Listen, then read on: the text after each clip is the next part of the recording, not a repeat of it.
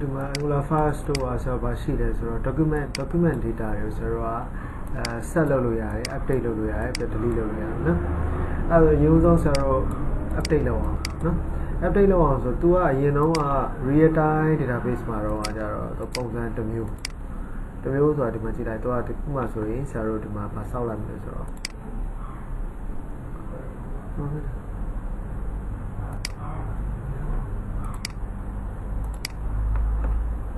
okay နော်အဲဆိုလိုချင်တာဒီမှာဆိုရင် तू က courses တွေကိုဆရာတို့ဒီမှာ looping ပတ်ပြီးတော့ထုတ်တာနော်ဒီမှာ observable ပုံစံနဲ့နော်ဒီမှာ async file ကိုသုံးတာမှတ်မိလား observable ဆိုရင် तू က async file သုံးလိုက်ရတယ်လေနော်ဟို subscribe လုပ်ဆရာမလို့တော့ဟိုဘက်ကနေတော့ဟို component ဒီဒီ component ဘက်ကနေတော့ subscribe လုပ်ဆရာမလို့တော့နော်ဒါကကြတော့ဆရာတို့ဒါ view ပေါ့နော်အဲ့တော့ဒီ view ဒီ template လို့လည်းခေါ်တာနော်ဒါ component ပေါ့နော် အဲ့ဒါဒီ template ဘက်ကနေပြီးတော့ဆရာတို့ဘာဆောက်လိုက်လဲဆိုတော့အခုကဟို update ဆိုတဲ့ button ကိုဆောက်လိုက်တယ်။နောက်ပြီးတော့ခါကျဆရာတို့ဘာထည့်ပေးလိုက်လဲဆိုတော့ဒီ course object ကြီးကိုထည့်ပေးလိုက်တယ်။ဟုတ်လား။နော် course object တစ်ခုချင်းစီဟို looping ပတ်မှာလေအဲတစ်ခုချင်းစီရဲ့နေရာမှာဒီဘေးနားမှာဆရာတို့ button တစ်ခုလာပြီးတော့ update ဆိုတော့အဲ course object ပါအောင်ဟုတ်လား။သူ့ကို click နှိပ်လိုက်လို့ရှိရင်နော်။အဲဒါဆိုဆရာတို့တွားအောင်တွားမယ်ဆိုတော့ဒီမှာ update ကိုကြည့်ကြည့်အောင်နော်။ဒီမှာ add တုံးကကြတော့ဆရာတို့ဘာရှိလဲဆိုတော့ အဲဒီ DB ပေါ့နော် DB ဆိုတာဒီ Angular File Database နော် Angular File Database ထဲမှာ object ဆိုရှိတယ်အဲ object ကနေပြီးတော့ course ဆိုရဆိုတော့ဒီမှာ course ရဲ့ key ရှိတယ်အဲ့ဒါထည့်လိုက်လို့ရှိရင်သူကအလုပ်လုပ်သွားတယ်နော်အခုဒီမှာကျတော့တော့ဘာတော့တန်းပြန်လဲဆိုတော့ဒီကောင်းကိုထောက်ကြည့်လိုက်တော့ခါကျတော့ဒီ object ကပေါ့နော်ဒီ object က firebase object observable and of any ဆိုပြီးတော့နော် firebase object observable of any of လို့ခတ်တယ်ဒီဒီဒီဟာဒါ generate type နော် okay အဲ့ return ပြန်တော့ခါကျဒီကောင်ကဘာနဲ့လုပ်လို့ရဆိုတော့ update ဆိုပြီးလုပ်လဲသူလည်းတူတူပဲ firebase object observable for any နော်ဒီမှာကျတော့ဘာပြောရလဲဆိုတော့ set method နဲ့ update method နဲ့နှစ်ခုရှိတယ်သူက update လုပ်ဖို့အတွက်ဟို update လုပ်ဖို့အတွက်နှစ်မျိုးရှိရလို့ပြောတာ method ကနှစ်မျိုးရှိတယ်နော်ဘာနဲ့ဘာနဲ့နော် set နဲ့ update တူတူပဲနော်ဟိုဆိုလိုချင်တာ concept concept ကိုပြောပြနေတာဟိုဘက်ကကုန်းတဲ့ဒီဘက်ကကုန်းတဲ့တော့မတူဘူးနော်ဘာလို့ဘက်ကကျတော့ collection collection ဒီမှာ document လာအဲ့ document နဲ့အဲ့ collection ထဲမှာ document တွေရှိတယ် document တွေမှာဘာရှိလဲဆို fee တွေရှိတယ်နော်အဲ့လိုလုပ်တာအဲ့ဒါဒီမှာကျဆရာတို့က update method ကိုသုံးလိုက်မယ် update method ကိုသုံးလိုက်တော့ခါကျတော့ update method မသုံးမနဲ့ဆို set method ကိုသုံးလိုက်နော် set method ကိုသုံးလိုက်တော့ခါကျဒီမှာဒါကဘာလဲဆိုတော့ cost.value ဆိုပြီးတော့သူက updated ပေါ့နော် updated ဆိုတော့ဆိုချင်တာ updated ဆိုတဲ့ string လေးကိုထည့်ပေါင်းလိုက်တာဒါပဲဟုတ်လားသူ့မှာတော့ဘာရှိလဲဆိုတော့သူက key နဲ့ value နဲ့ရှိအဲ key ကိုကြာသူကဒီမှာလာပြီးတော့ထည့်လိုက်တာသူကသူကသူကကြာတော့ပတ်လက်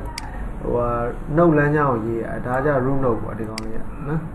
ပြောကြရဒီကောင် courses note နော် courses note ထဲမှာမှာဘာတက်ရှိလဲဆိုတော့နောက်ထပ် note ထက်ရှိတယ်နော် အဲနောက် note ထက်ရှိတဲ့ပုံစံတစ်မျိုးလေးဆရာတို့ဒီမှာလုပ်ခဲ့ပုံစံဒီကနေပြီးတော့ real time အောင်သွားလိုက်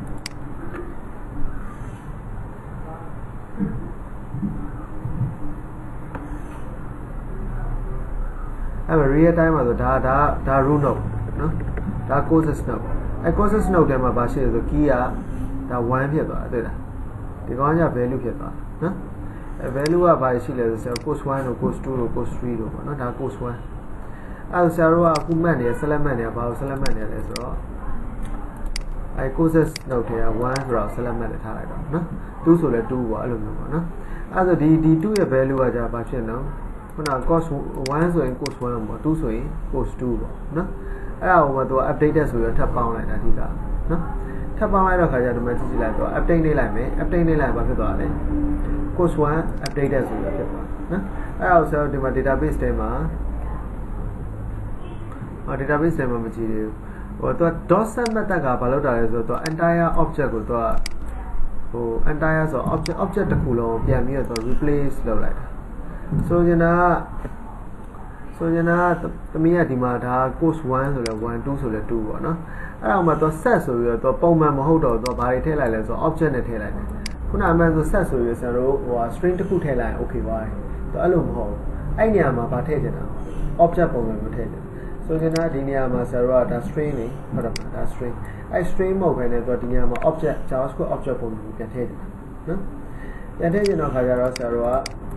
အဲဒီမှာထည့်လိုက်ပြီနော် ထည့်လိုက်ပြီဆိုတော့ title ရဲ့ပြီးတော့ခါကြတော့ post of value ဆို updated ဆို price ရဲ့ထပ်ထည့်လိုက်တယ်ဆိုလို့ကျွန်တော်အဲဒါဆိုဒီမှာကျတော့ key နဲ့အဲ value ထပ်ပါသွားပေါ့ဒီမှာလည်း key နဲ့ value ပါသွား key နဲ့ value ပါသွားတော့ဒီမှာကြည့်ကြည့်လိုက်သူက update လုပ်လိုက်တော့ဒီ course 2ကို update လုပ်လိုက်တော့ခါကျတော့သူက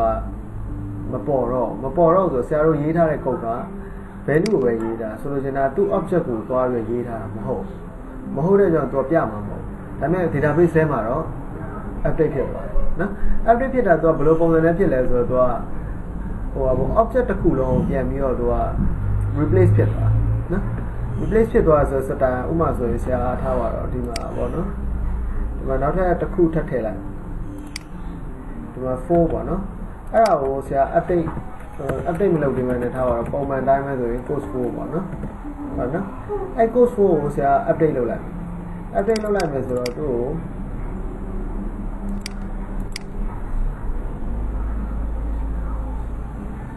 အဲ့တော့တစ်ချက်နေလိုက်တော့ update လုပ်လို့ရတယ်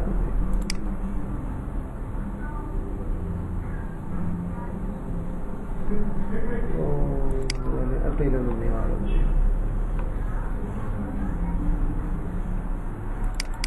ထိုက်ပါဆရာပြန်ဖြတ်လိုက်မယ်နော်ပြန်ဖြတ်လိုက်မယ်ပြန်ဖြတ်ပြီးတော့ဆရာတို့ဒီမှာ4ဆိုပြီးတော့သူထည့်တဲ့ပုံစံကိုဆရာပြမယ် ဥပမာဆိုဒီကောင်ကဒီ value ကိုတန်းထည့်တာပေါ့သူ plus sign နဲ့ပြီးတော့ဒီလိုထည့်တာဥပမာဆို title ဆိုတော့လေခုနကထည့်တဲ့ပုံစံ course 4 updated ဆိုတော့အဲ့လိုမျိုးထည့်နောက်တစ်ခုထပ်ထည့်နော်ဒီမှာ price ဆိုပြီးတော့ကျွန်တော်တို့ထည့်တရားအားလုံးနော်အဲ့ဒါဒီမှာကြည့်လိုက်သူထည့်တဲ့ပုံစံကြမတို့တိုက်တယ်ဆိုပြီးတော့တွေ့လား updated ဆိုနော်ဒီမှာ price ဆိုပြီးတော့တရားလာအဲအဲ့လိုပုံစံနဲ့တော့ထည့်လိုက်တာထည့်လိုက်တော့ခါကျဆရာတို့ထုတ်ထားတဲ့ပုံစံကြတော့ဒီမှာ value ကိုထုတ်ထားတော့ခါကျတော့မပေါ်တော့အဓိကနော် browser မှာမပေါ်တော့နော်အဲမပေါ်တော့ဆိုတော့ဒီမှာဆရာတို့ကဘာလုပ်လိုက်လဲဆိုတော့အဲ့လိုပေါ်အောင်လုပ်လို့ရ JavaScript မှာဒီ all operator ကိုသုံးလို့ရတယ်ဆိုလိုချင်တာကဆိုလိုချင်တာဒီမှာ value မရှိဘူးဆိုရင်ဒီ value ကိုပြဆိုရင်ဒီ variable မှာ value မရှိဘူးဆိုရင် ဒီ variable ကိုပြအဲ့လိုနော်အဲ့ဒါဆရာတို့ကဒီ variable မရှိတော့ဆရာတို့ဗာပြလိုက်တာနော် course.title ဆိုတော့ပြလိုက်တာအဲ့ဒါဆိုပြီးသွား dollar sign value မဟုတ်လေ course.title လေဘာလို့ title ကိုပြလိုက်လို့ရှင်ဆရာတို့ကမထွက်လာဆိုတော့ course to updated ဆိုတော့ပြန်ထွက်တယ်နော်အဲ့ဒါကြတော့ javascript ရဲ့ဟိုပါပေါ့ဒီဒီဒီဟာလေးကတော်တော်တုံးတယ်နော်တော်တော်တုံးတယ်ဆိုတော့ variable assign လုပ်တဲ့ချိန်မှာဥပမာဆို default value တစ်ခုကိုထည့်ထည့်ထည့်ခဲ့ခြင်းနဲ့ဆိုတုံးတယ် ဥပမာဆိုဗျာတမီးထည့်ခြင်းတဲ့ value ကအဲတမီးဒီ user input ကနေ user ကနေရိုက်ထည့်လိုက်တဲ့တန်ဖိုးဒါမှမဟုတ်ဟိုတခုခုပေါ့နော်ဟိုဟို server ကနေ HTTP ကနေပြီးတော့ web ကနေရတဲ့ဟာမျိုး value ပေါ့နော်အဲအဲ့လို value လားဒါမှမဟုတ်လို့ရှိရင်ဒီနောက်ထပ် default value လား default value ဆိုတာဒါတမီးကဒီဘက်ကနေပြီးတော့ကိုကိုထည့်ခြင်းတဲ့ဟာပေါ့ဥပမာဆိုဒီဘက်က data ရောက်မလာဘူးဆိုတော့ကိုကဒါဒီဘက်ကတန်ဖိုးအသေးထည့်မှာအသေးဆိုတာဒါမျိုးတော့မရဘူး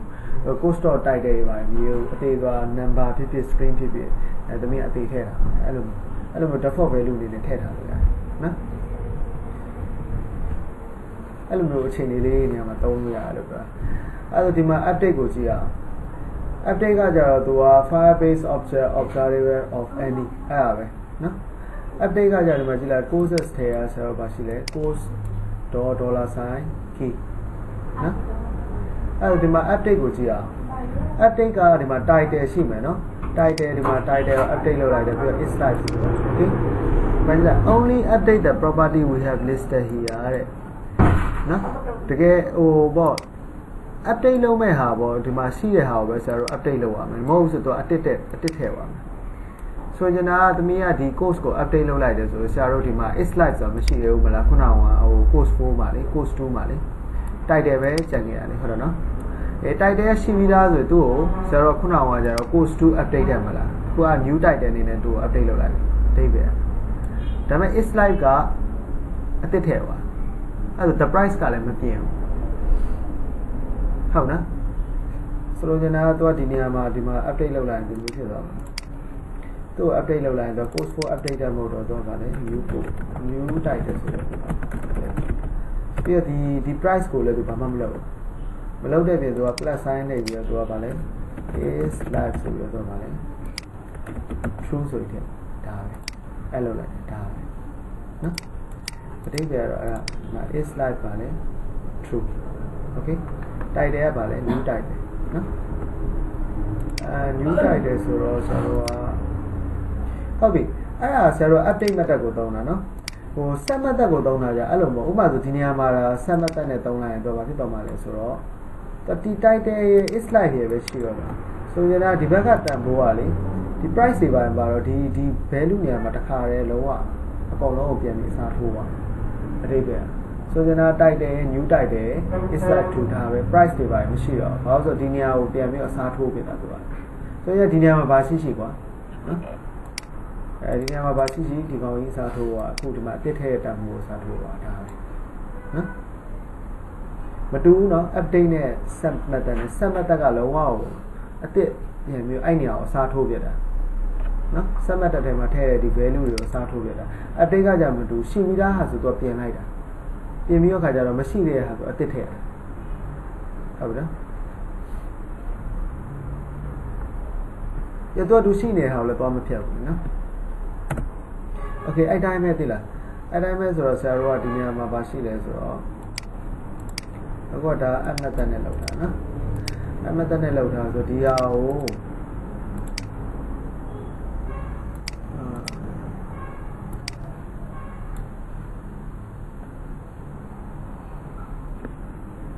အော်ဒီ price ပြီးတော့ဆရာဒီနေရာနေပြီးတော့သူ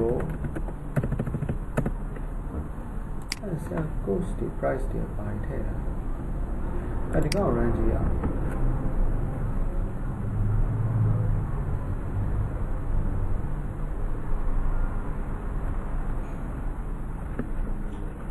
ng sub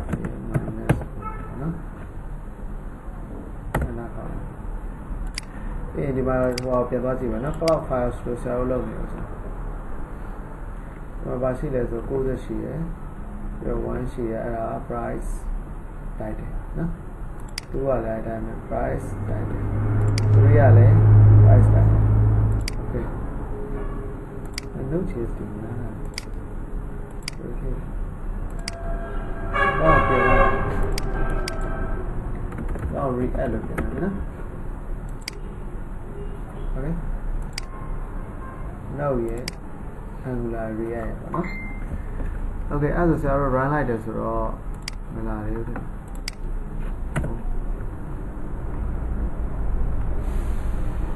တာမီနဲ့ကြာတယ်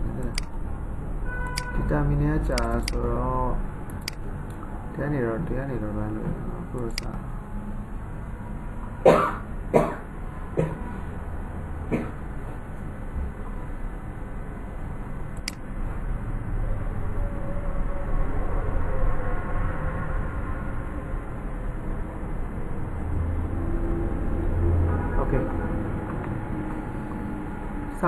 ရနော်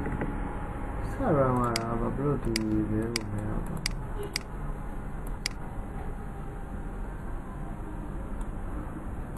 လို့ဒီဘဲကိုမရတော့အော်ဆိုပြန်ထုတ်ထုတ်တဲ့ကောက်ကထုတ်တဲ့ကောက်ကရေးထားတော့ဖြစ်ပါနော်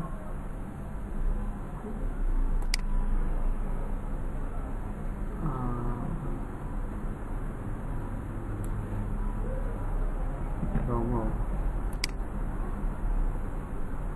တော့တော့ဆိုဒီအောက်ကဒီကောင်ကောနော်ဒါဒီထဲမှာဗာထည့်ရလဲဆိုတော့ဒီမှာတော့ဖိုင်မဟုတ် snapshot changes တော့ဖိုင်နော်အဲပြီးတော့မှ map ဆိုပြီးတော့ဆက်ပါလာမယ် subscribe ဆိုရလာမှာနော် subscribe ဆိုရမလာခြင်းလို့ရှိရင်ဆရာတို့ကဒီမှာဘာမှပါရတန်းမြန်တာဒီကောင်ကဖိုက်က observable return မြန်တယ်မလားဟို observable မဟုတ် sorry ဟ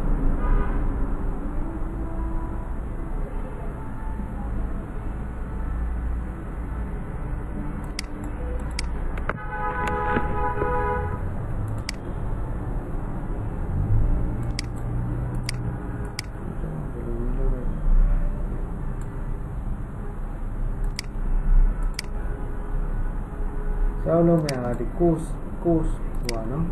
အော်ဒီမှာထည့်လိုက်ပါနော် this dot course နော်အဲ့တော့ပြန်ပြီးတော့ဘာလို့မအောင် looping ပြန်ပတ် looping ပြန်ပတ်မယ်ဆိုဒီနေရာမှာပါရေးမှာတော့ ng4 နော်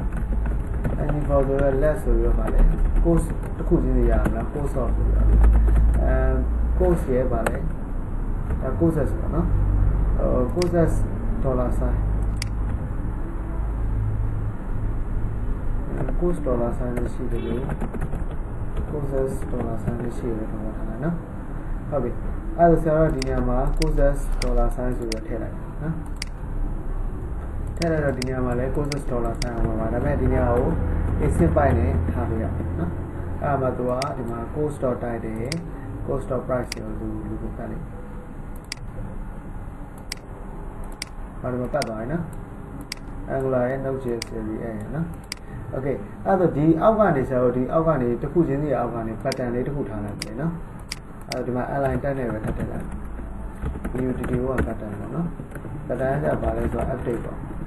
update ဆိုသူ့ကို click မတက်ထည့်မယ်ဆိုတော့ဒီမှာ click event ထည့်လိုက်နော်ဒီမှာဘာလဲဆိုတော့ on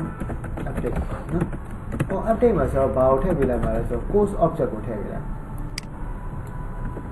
okay နော်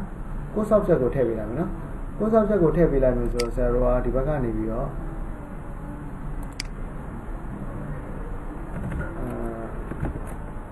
အာ on update ပေါ့နော်ဆိုရင်လည်းဒီနေရာမှာဗာရရလဲ course object ရနော်ဟုတ်ပြီ course object ရပြီဆိုတော့အဲ့တော့ update လုပ်မယ်ဆိုဆရာတို့ဒီကနေပြီးတော့ဒီလိုလုပ်လို့ရတယ်တော့ collection ကနေရောပါခေါ်လို့ရဆို document ဆိုတဲ့ဟို method ကိုခေါ်လို့ရတယ်ဟုတ်တယ်နော်ဆရာတို့စတော့ကဒီမှာ collection ဆိုပြီးတော့ဟိုလာပြီးတော့သူ့ကိုယူထားလိုက်တယ်နော်ဆိုရင်လည်း angular file store dot collection ဆိုပြီးတော့ယူထားလိုက်တယ် okay this dot here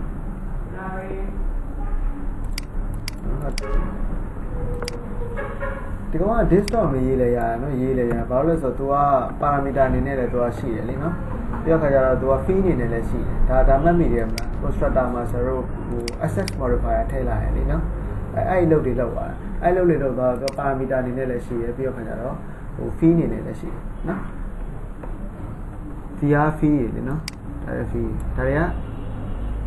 တွေကဘာလဲဒီနေ့ကိုပါ မတ်တန်လေး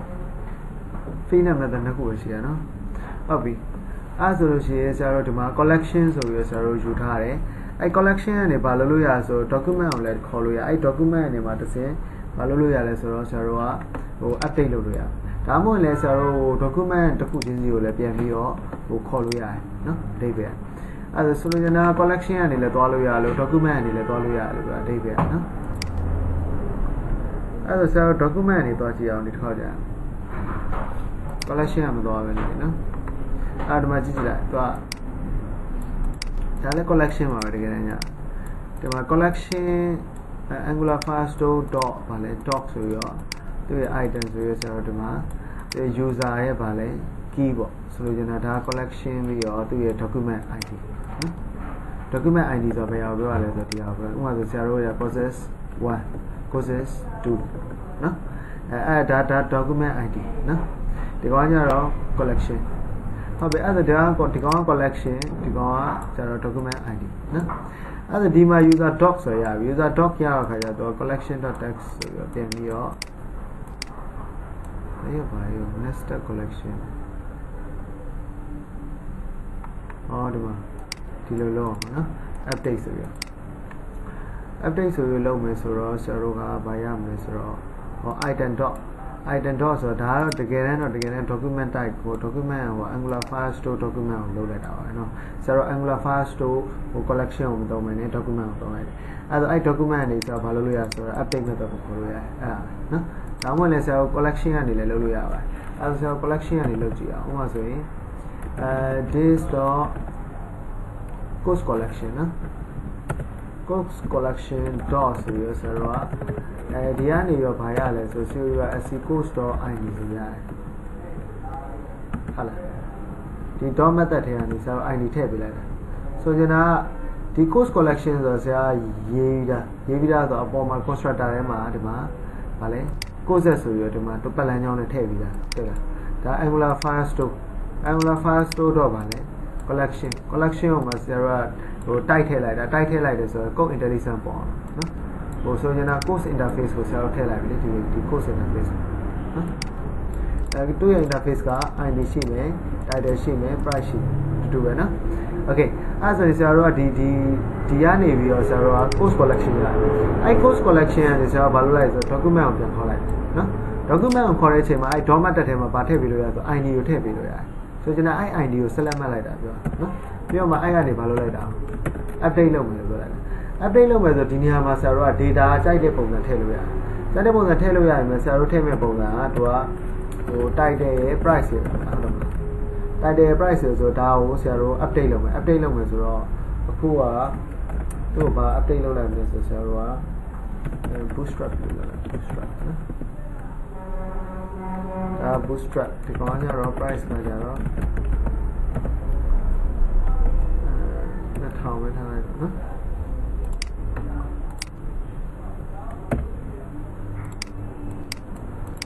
okay နော်သူ update လုပ်လို့ရှိရင်ဒီမှာကြည့်ကြည့်လိုက်သူက item ဆိုပြီးတော့သူက item ကိုထည့်လိုက်တယ်တဲ့လားအဲ item ကသူကဟို update လုပ်ရမယ် item ပေါ့နော်ဆရာတို့ကじゃဗာထည့်ပေးရအောင် ID ကိုဗာထပ်ထည့်ပေးရနော်အမှန်ဆိုရင်နောက်ထပ် comma ခံပြီးတော့သူကနောက်ထပ်သူထည့်ခြင်းတဲ့ value ကိုဆရာတို့ထည့်ပေးရမယ် ဒီကနေ parameter ကနေလာတယ်နော်အဲ့ value ကဘာလဲဆိုတော့ဒီမှာဒီ value ဖြစ်တယ်နော်အခုဒီမှာ select မှတ်ထားရအောင်ဒါကြတော့ဆရာတို့ကကိုယ့်ကိုဟိုထည့်လိုက်တယ်ဆိုတော့တဘောနော် user input မထည့်ဘဲနဲ့ဒါပါအပေထည့်တာနော်ဟုတ်ပြီအဲ့ဒါဆိုရင်ဆရာတို့ဒီမှာ on update ဆိုတာကိုတစ်ချိန်နေလိုက်ရင်တော့ update ဖြစ်တာပေါ့နော်အဲဒီကောင်ကို update လုပ်ရတယ်အဲ့မှာဒီလိုက်ပါပြောင်းသွားရော bootstrap ရဲ့2000လေးပဲပြောင်းသွားတယ်နော်အဲ့ဒါပဲကြည့်ကြည့်လိုက်ဒီမှာ bootstrap ရဲ့2000လေးပဲပြောင်းသွားတယ်နော်ဟုတ်ပြီအဲ့ဒါဆိုဆရာတို့ update method ရှိလို့ပါရှိသေးလဲဆိုတော့ set method ရှိတယ်နော်ဟို update ကကြတော့ partially update လုပ်တာဆိုတော့သိပြန်လည်းမရှိဘူးဒီမှာ set method ကတော့အကုန်လုံးကိုဟို update လုပ်ပါဥပမာဆိုဆရာကဒီနေရာမှာ title ရော price ရောထည့်မယ်ခုနကသူ့လိုမျိုး is like ရောထည့်လိုက်လို့ဆိုတော့နော် is like ရောထည့်လိုက်မယ်ဆိုဆရာတို့ဒီနေရာမှာနေရာမှာ update လုပ်လိုက်အဲဆရာတို့ဒီနေရာမှာ is is like ဆိုတဲ့ဟာကိုမထုတ်ထားတဲ့အတွက်ကြောင့်ဒီမှာပုံမှာမဟုတ်ဘူး။ဘာလို့ဆိုတော့ဆရာတို့ဒီ HTML ကုတ်ထဲမှာ post.is like ဆိုတာကိုထုတ်မထားဘူးနော်။ထုတ်မထားဆိုတော့သူ့ကိုရှိလားမရှိလားစစ်ပြီးတော့ထုတ်ချင်တော့ရပါတယ်ဒီလို ng if နဲ့ပါနဲ့စစ်ပြီးတော့ထုတ်လို့ရတယ်နော်။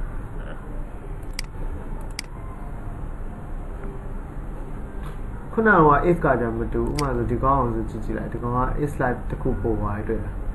နော်အဲတို့ကိုဆရာတို့ကအခုအခုလောလောဆယ်တာဆရာဒီမှာ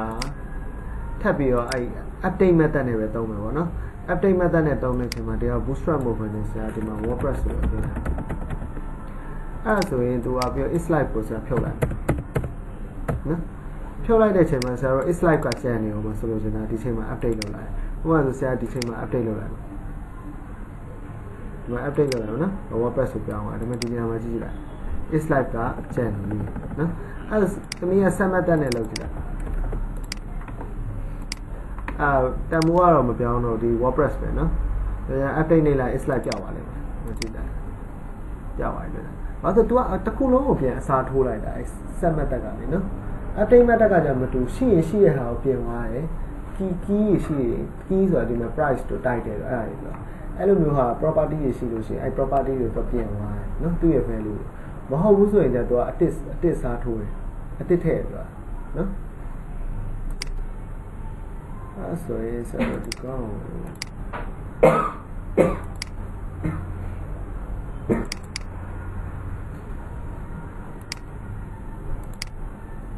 စေရောပြီလား Okay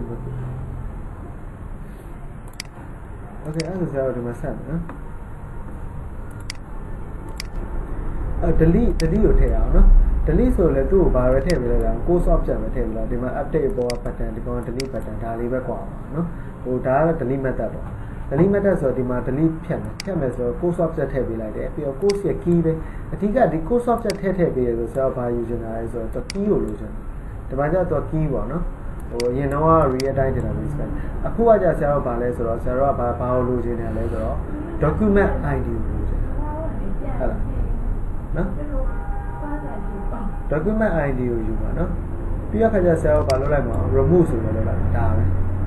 နော် remove ဆိုတာဒါပေမဲ့မဟုတ်လေဒီကောင်ကကျတော့ object ကနေလာမှာဆရာတို့ object မဟုတ်တော့ဆရာတို့ကကျတော့ document ကနေလာမှာနော်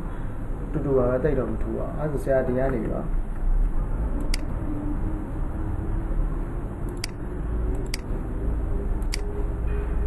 အဲဒီကောင်ကို copy ပွားလိုက်မယ်နော် copy copy ပွားလိုက် duplicate လုပ်လိုက်မယ် duplicate လုပ်မယ်ဆိုတော့ order shift အဲ down arrow နဲ့လုပ်လိုက်မယ်နော် down arrow နဲ့လုပ်ပြီးဆရာတို့ဒီနေရာမှာ on delete ဆိုရနေလိုက်မယ်နော်ဒါ code subject ထည့်လိုက်ဒီနေရာမှာဆရာတို့ရေးမှာ on delete LED okay ဒီနေရာမှာ code ပါ okay နော်အဲဒီနေရာမှာဆရာတို့ဗာရေးမှာလဲဆိုတော့ delete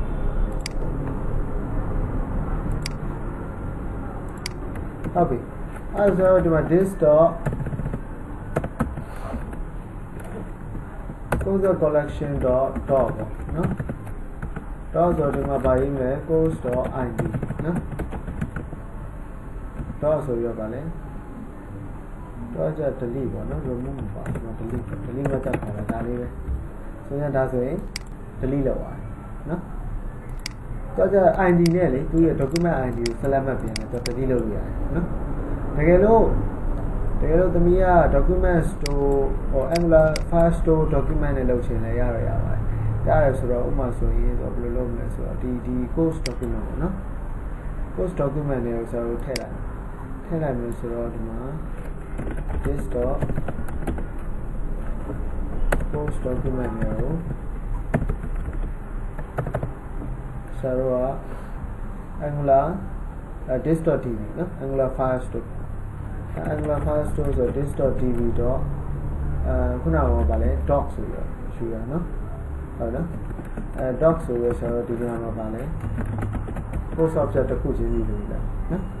အဲဒီနေရာမှာဗာထည့်ပေးရမှာတော့ဆိုတော့ courses တွေကအဲ courses id နော်ဟုတ်တယ် plus sign နဲ့ဆိုတော့ courses.id နော်ဆိုရင်ဒါ plus sign နဲ့ခံတယ်ဆိုတော့ဒီကောင် string နဲ့ဟိုဟာနဲ့ဟို variable နဲ့ပေါင်းလိုက်တာဆိုတော့ဒီ JavaScript မှာ concatenate လုပ်ရှင်အတွက် plus sign နဲ့ခံနော်အဲဒီနေရာကဒီနေရာ post ကိုအော် talk ကဒီတိုင်းပဲရေးရမှာနော်ရေးရတယ်လို့ကျွန်တော်တိုက်ကဒီနောက်မှာရေးရဒီရှေ့ပါ โอเคနော်ဒါကိုစမျိုးစားဆိုရဒါတတ်မှတ်လိုက်တာပါတကယ်တမ်းကနော်ဥပမာဆိုဥပမာဆိုမတတ်မှတ်လည်းရရရတယ်ပြက်နေတာတော့မရှိဘူးဘာလို့ဆိုတော့ဒီကောင်တိတ်ရေးမကြည့်တော့အဓိကကဘာလို့တောင်တော့ delete ဆိုခေါ်လို့ရတယ်ဒါပဲဟုတ်လားနော်အဲ့ဒါကိုဆရာတို့ဒီထဲကိုမထည့်လိုက်ရထည့်လိုက်နော် Angular Fire Angular Fire Store ကနေရဆရာတို့ဓာတ်ရိုက်တန်းပြီးဘာလုပ်လို့ရ ဖြတ်လို့ရတယ်တွေ့လားအဲဆိုဒီကောင်ကဆရာတို့ဒီမှာပတ်လန်းချောင်းရေးပြီးသွားပြီဆိုတော့ okay သွားရလေနော်။မာလေးကြည့်ကြည့်လိုက်လေ။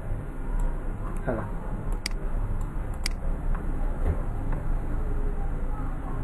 Angular Fire Store document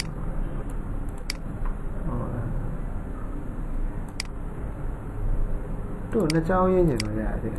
ဒီ dot delete ကိုလေရေးရဲနဲ့ server ဒီနေရာမှာပါရလဲဆိုတော့ ဒီ dot ကဘာရလဲဆိုတော့ကြည့်လိုက် angular files document angular files to document ကိုလိုချင်လို့ရှင်ဆရာတို့က this dot post document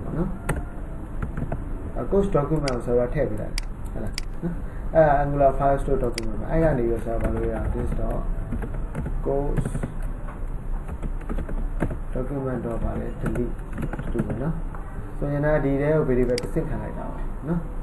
ဟိုမခံမဲနဲ့လည်းတမ်းပြီးတော့မလုပ်ရအောင်ရေးလို့ရတယ်အဲ့လိုမြင်ခြင်းဆိုလည်းခုနကဆရာတို့ဟိုနီးနဲ့ရေးလို့ရလောဆိုဒီနီးနဲ့ရေးဖြတ်စီရနော်မှန်ဆိုတော့ဒါကြီးကထည့်ပြန်မလို့ပါဒါကြီးကရှော့ပါနော်အကြောင်းလေးနဲ့ပြီးပါပြီးပါအော်ပြင်ထည့်လိုက်နော်ဟင်အဲ့ဒါကြောင်းလေးပါနော်ဟုတ်ကဲ့ဖြတ်စီရ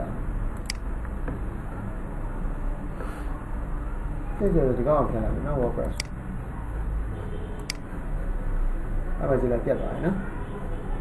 အဲပြတ်သွားပြီဆိုတော့ဆရာတို့ကအဲနောက်တော့တစ်ခုကိုဆရာတို့ဒီမှာထည့်ကြည့်မယ်ဆိုလိုချင်တာ collection ကနေဆရာတို့ယူကြည့် this dot ပါလဲ courses courses collection dot ဆိုတော့ dot ဆိုတော့ဆရာတို့ကဒီနေရာမှာဗာရေးမှာလဲဆိုတော့ course.id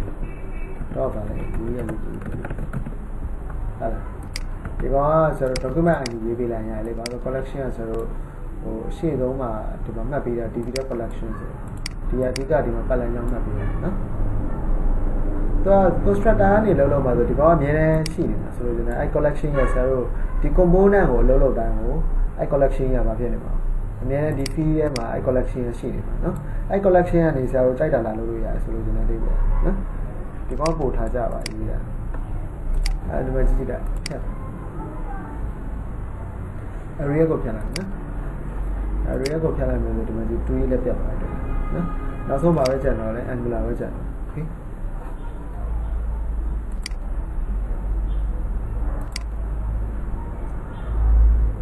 ဒီကောင်ဒီကောင်လည်း remove လုပ်တာအဲ deployment အောင်သွားနော်အဲ deployment လုပ်တဲ့ဆိုတော့ဘာလဲဆိုဆရာတို့အခုဒီမှာ offline run နေတာပေါ့နော် အခုဆိုရင်ဆရာတို့ကဒါကဒီလို local host ဆိုတာတမီးမှဒါဒါ server ကို run တာလေ local host က server server ပဲဒီကောင် port number ဘယ်လောက်လဲဆိုတော့ကိုလုံးနဲ့နောက်က4000နေရဆိုတော့ဆိုလိုချင်တဲ့ angular ကဟို server တစ်ခုအနေနဲ့ run တယ်ဘာလို့ဆိုတော့ तू က node.js ကိုလည်းထည့်ရေးထားလို့ဟုတ်လားဟို angular ထဲမှာဘာရှိလဲဟို node.js ရှိတယ် node.js ကဘာလုပ်တာလဲဆိုတော့ तू က ဟို javascript code တွေကိုအပြင်ဘက်ကနေပြီးတော့ execute လုပ်လို့ရတယ်ပုံမှန်ဆို javascript code ကတော့ဟို browser ကနေပဲ execute လုပ်လို့ရတယ် browser ကနေပဲတည်တာဆိုရင်အဲ javascript code ကို browser ကတည်ပြီးတော့ဖတ်ပြီးတော့ဟိုအလုပ်လုပ်ပြီးတာပေါ့အဓိကဒီ code တွေကဘာဖြစ်တယ်ညာဖြစ်တယ်ဆို browser တော့ဖတ်ပြီးတော့အလုပ်လုပ်ပြီးတယ်ဟုတ်နော်အဲ့အောင်မှာ browser အကူအညီမပါဘဲနဲ့သူအပြင်ဘက်မှာအလုပ်လုပ်စီအလုပ်လုပ်ချင်တာအဲ Node.js ကကြာတော့သူအလုပ်လုပ်နိုင်တယ်အလုပ်လုပ်နိုင်ပြီးတော့သူ server တွေပါလည်းတိစောက်လို့ရတယ်ဟုတ်နော် server တွေပါတိစောက်လို့ရတယ်ဆိုလို့ကျွန်တော်ဒီမှာ local host ဆိုတော့တိစောက်တယ်ဟိုကိုလုံး4000နေရဆိုနော်အဲ့ဒါတော့ဘာလဲဆိုတော့ဆရာတို့ PHP တို့ဘာတို့ဒီ backend ဘိုင်းတွေပါ run တယ်အဲ့တိုင်းပဲသူ local host ကနေသူ server ကနေပြီးတော့ run တယ်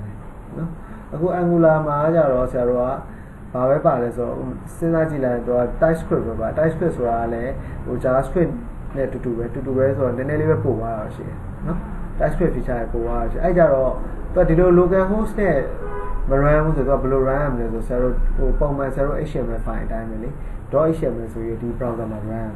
အဲ့ဒါဟိုမှာသူက Node.js ထည့်ထားတဲ့အတွက်ကြောင့်မို့သူ framework ထဲမှာအဲဆိုရင်သူ project ထဲမှာဆရာတို့ Node.js ဆိုရင် Node Node.js ကိုထည့်ထားလို့နော်ဆိုရင် server ဆောက်ထားတဲ့အတွက်ကြောင့်နော်အဲ server ဆောက်ထားတဲ့အတွက်ကြောင့်တမီးကဘယ်လိုမြင်လဲဆို local ဟိုလေးတောင်နေရတယ်ဒါကကြတော့ offline run တကယ်လို့ online run ရင်ဆရာတို့ကဘာလုပ်ရဆိုအဲ့ project ကို deployment လုပ်တယ်လို့ခေါ်တယ် deploy လုပ်တယ်လို့ခေါ်တယ်နော် deploy လုပ်တယ်လို့ခေါ်တော့ဒီမှာ deployment အကြောင်းဆရာလေ့လာဒီကောင် noun ပေါ့ deploy ဆိုတာတော့ဒါ verb verb ဆိုတာ deploy ဆိုတာနော် online မှာတင်တာပေါ့အဓိကနော်အဲ့ဒါဆရာတို့ဒီနေရာမှာဘာတွေပြောဘာတွေလေ့လာမလဲဆိုဒီကောင်ကအဲ့ deployment လုပ်ဖို့အတွက်ဆရာတို့ကဒီဒီဆရာတို့ရဲ့ Angular app တွေကိုဆရာတို့ဘယ်လိုမျိုး optimize လုပ်မှာလဲ optimize ဆိုပို့ပြီးတော့ကောင်းအောင်ဆိုလိုချင်တာဟိုဟိုပေါ့ application ရဲ့ application ခုဆိုဒီဒီ project ကြီးကဆရာတို့ file size ကအကြီးပဲ အဲ့ဒါကို file size တွေချုံလိုက်တာလို့နော်မလိုတာတွေအကုန်ချုပ်ပြစ်တာတော့အဓိကတော့ application ကိုပေါ်ပါပြီးတော့မြန်ဆန်အောင်လုပ်တာပဲနော် optimize လုပ်တယ်ဟုတ်ပြီအဲ့ဆိုရင်ဆရာတို့ကနောက်တစ်ခုကကြတော့ deploy လုပ်လို့ရတဲ့ package တွေပေါ့နော်ဟို build လုပ်လို့ရတဲ့ deploy လုပ်ရတဲ့ package တွေကိုဆရာတို့လေ့လာရမယ်ပြီးတော့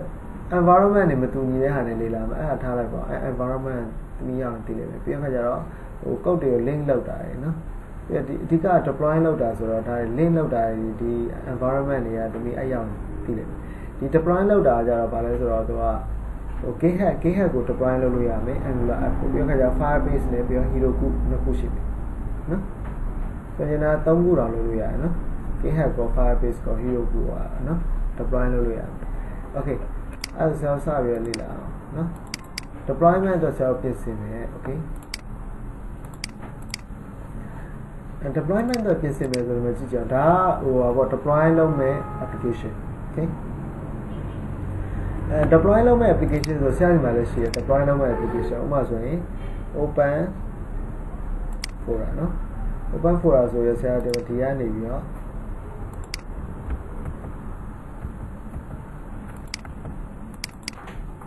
Angular app ပေါ့နော်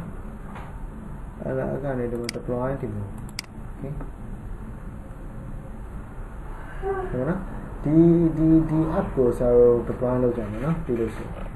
deploy လုပ်မယ်ဆိုတော့အရင်ဆုံးဆရာတို့ကဒီမှာဒီမှာ home နဲ့ follower နှစ်ခုရှိတယ် follower link ကိုနေလိုက်တာ follower follower တွေအများကြီးကြာတာဒါ follower တစ်ယောက်နှစ်ယောက်သုံးယောက်လေးယောက်နော်ဟုတ်ပြီအဲ့ဒါဆိုဆရာတို့ကဒီမှာ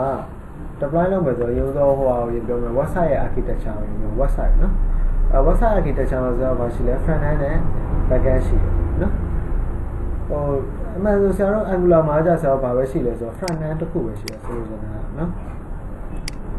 okay back end ကကြာဆရာတို့က GitHub API ခုနကတော့ application ကိုပြောတာဒါက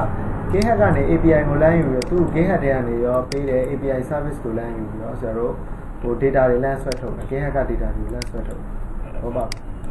နော်ဟုတ်ပြီအဲ့ဒါဆရာတို့ဒီမှာကြည့်လိုက် Angular app ကိုဆရာတို့ deploy လုပ်တဲ့အချိန်မှာတဲ့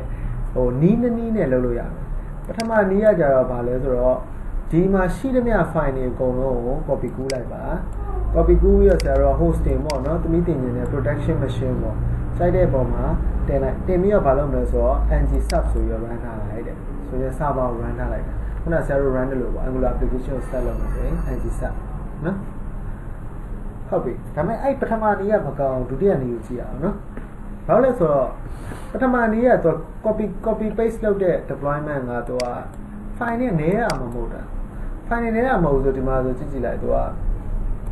ဟိုမှာဆိုဆရာတို့ပါရှိနေဆိုတော့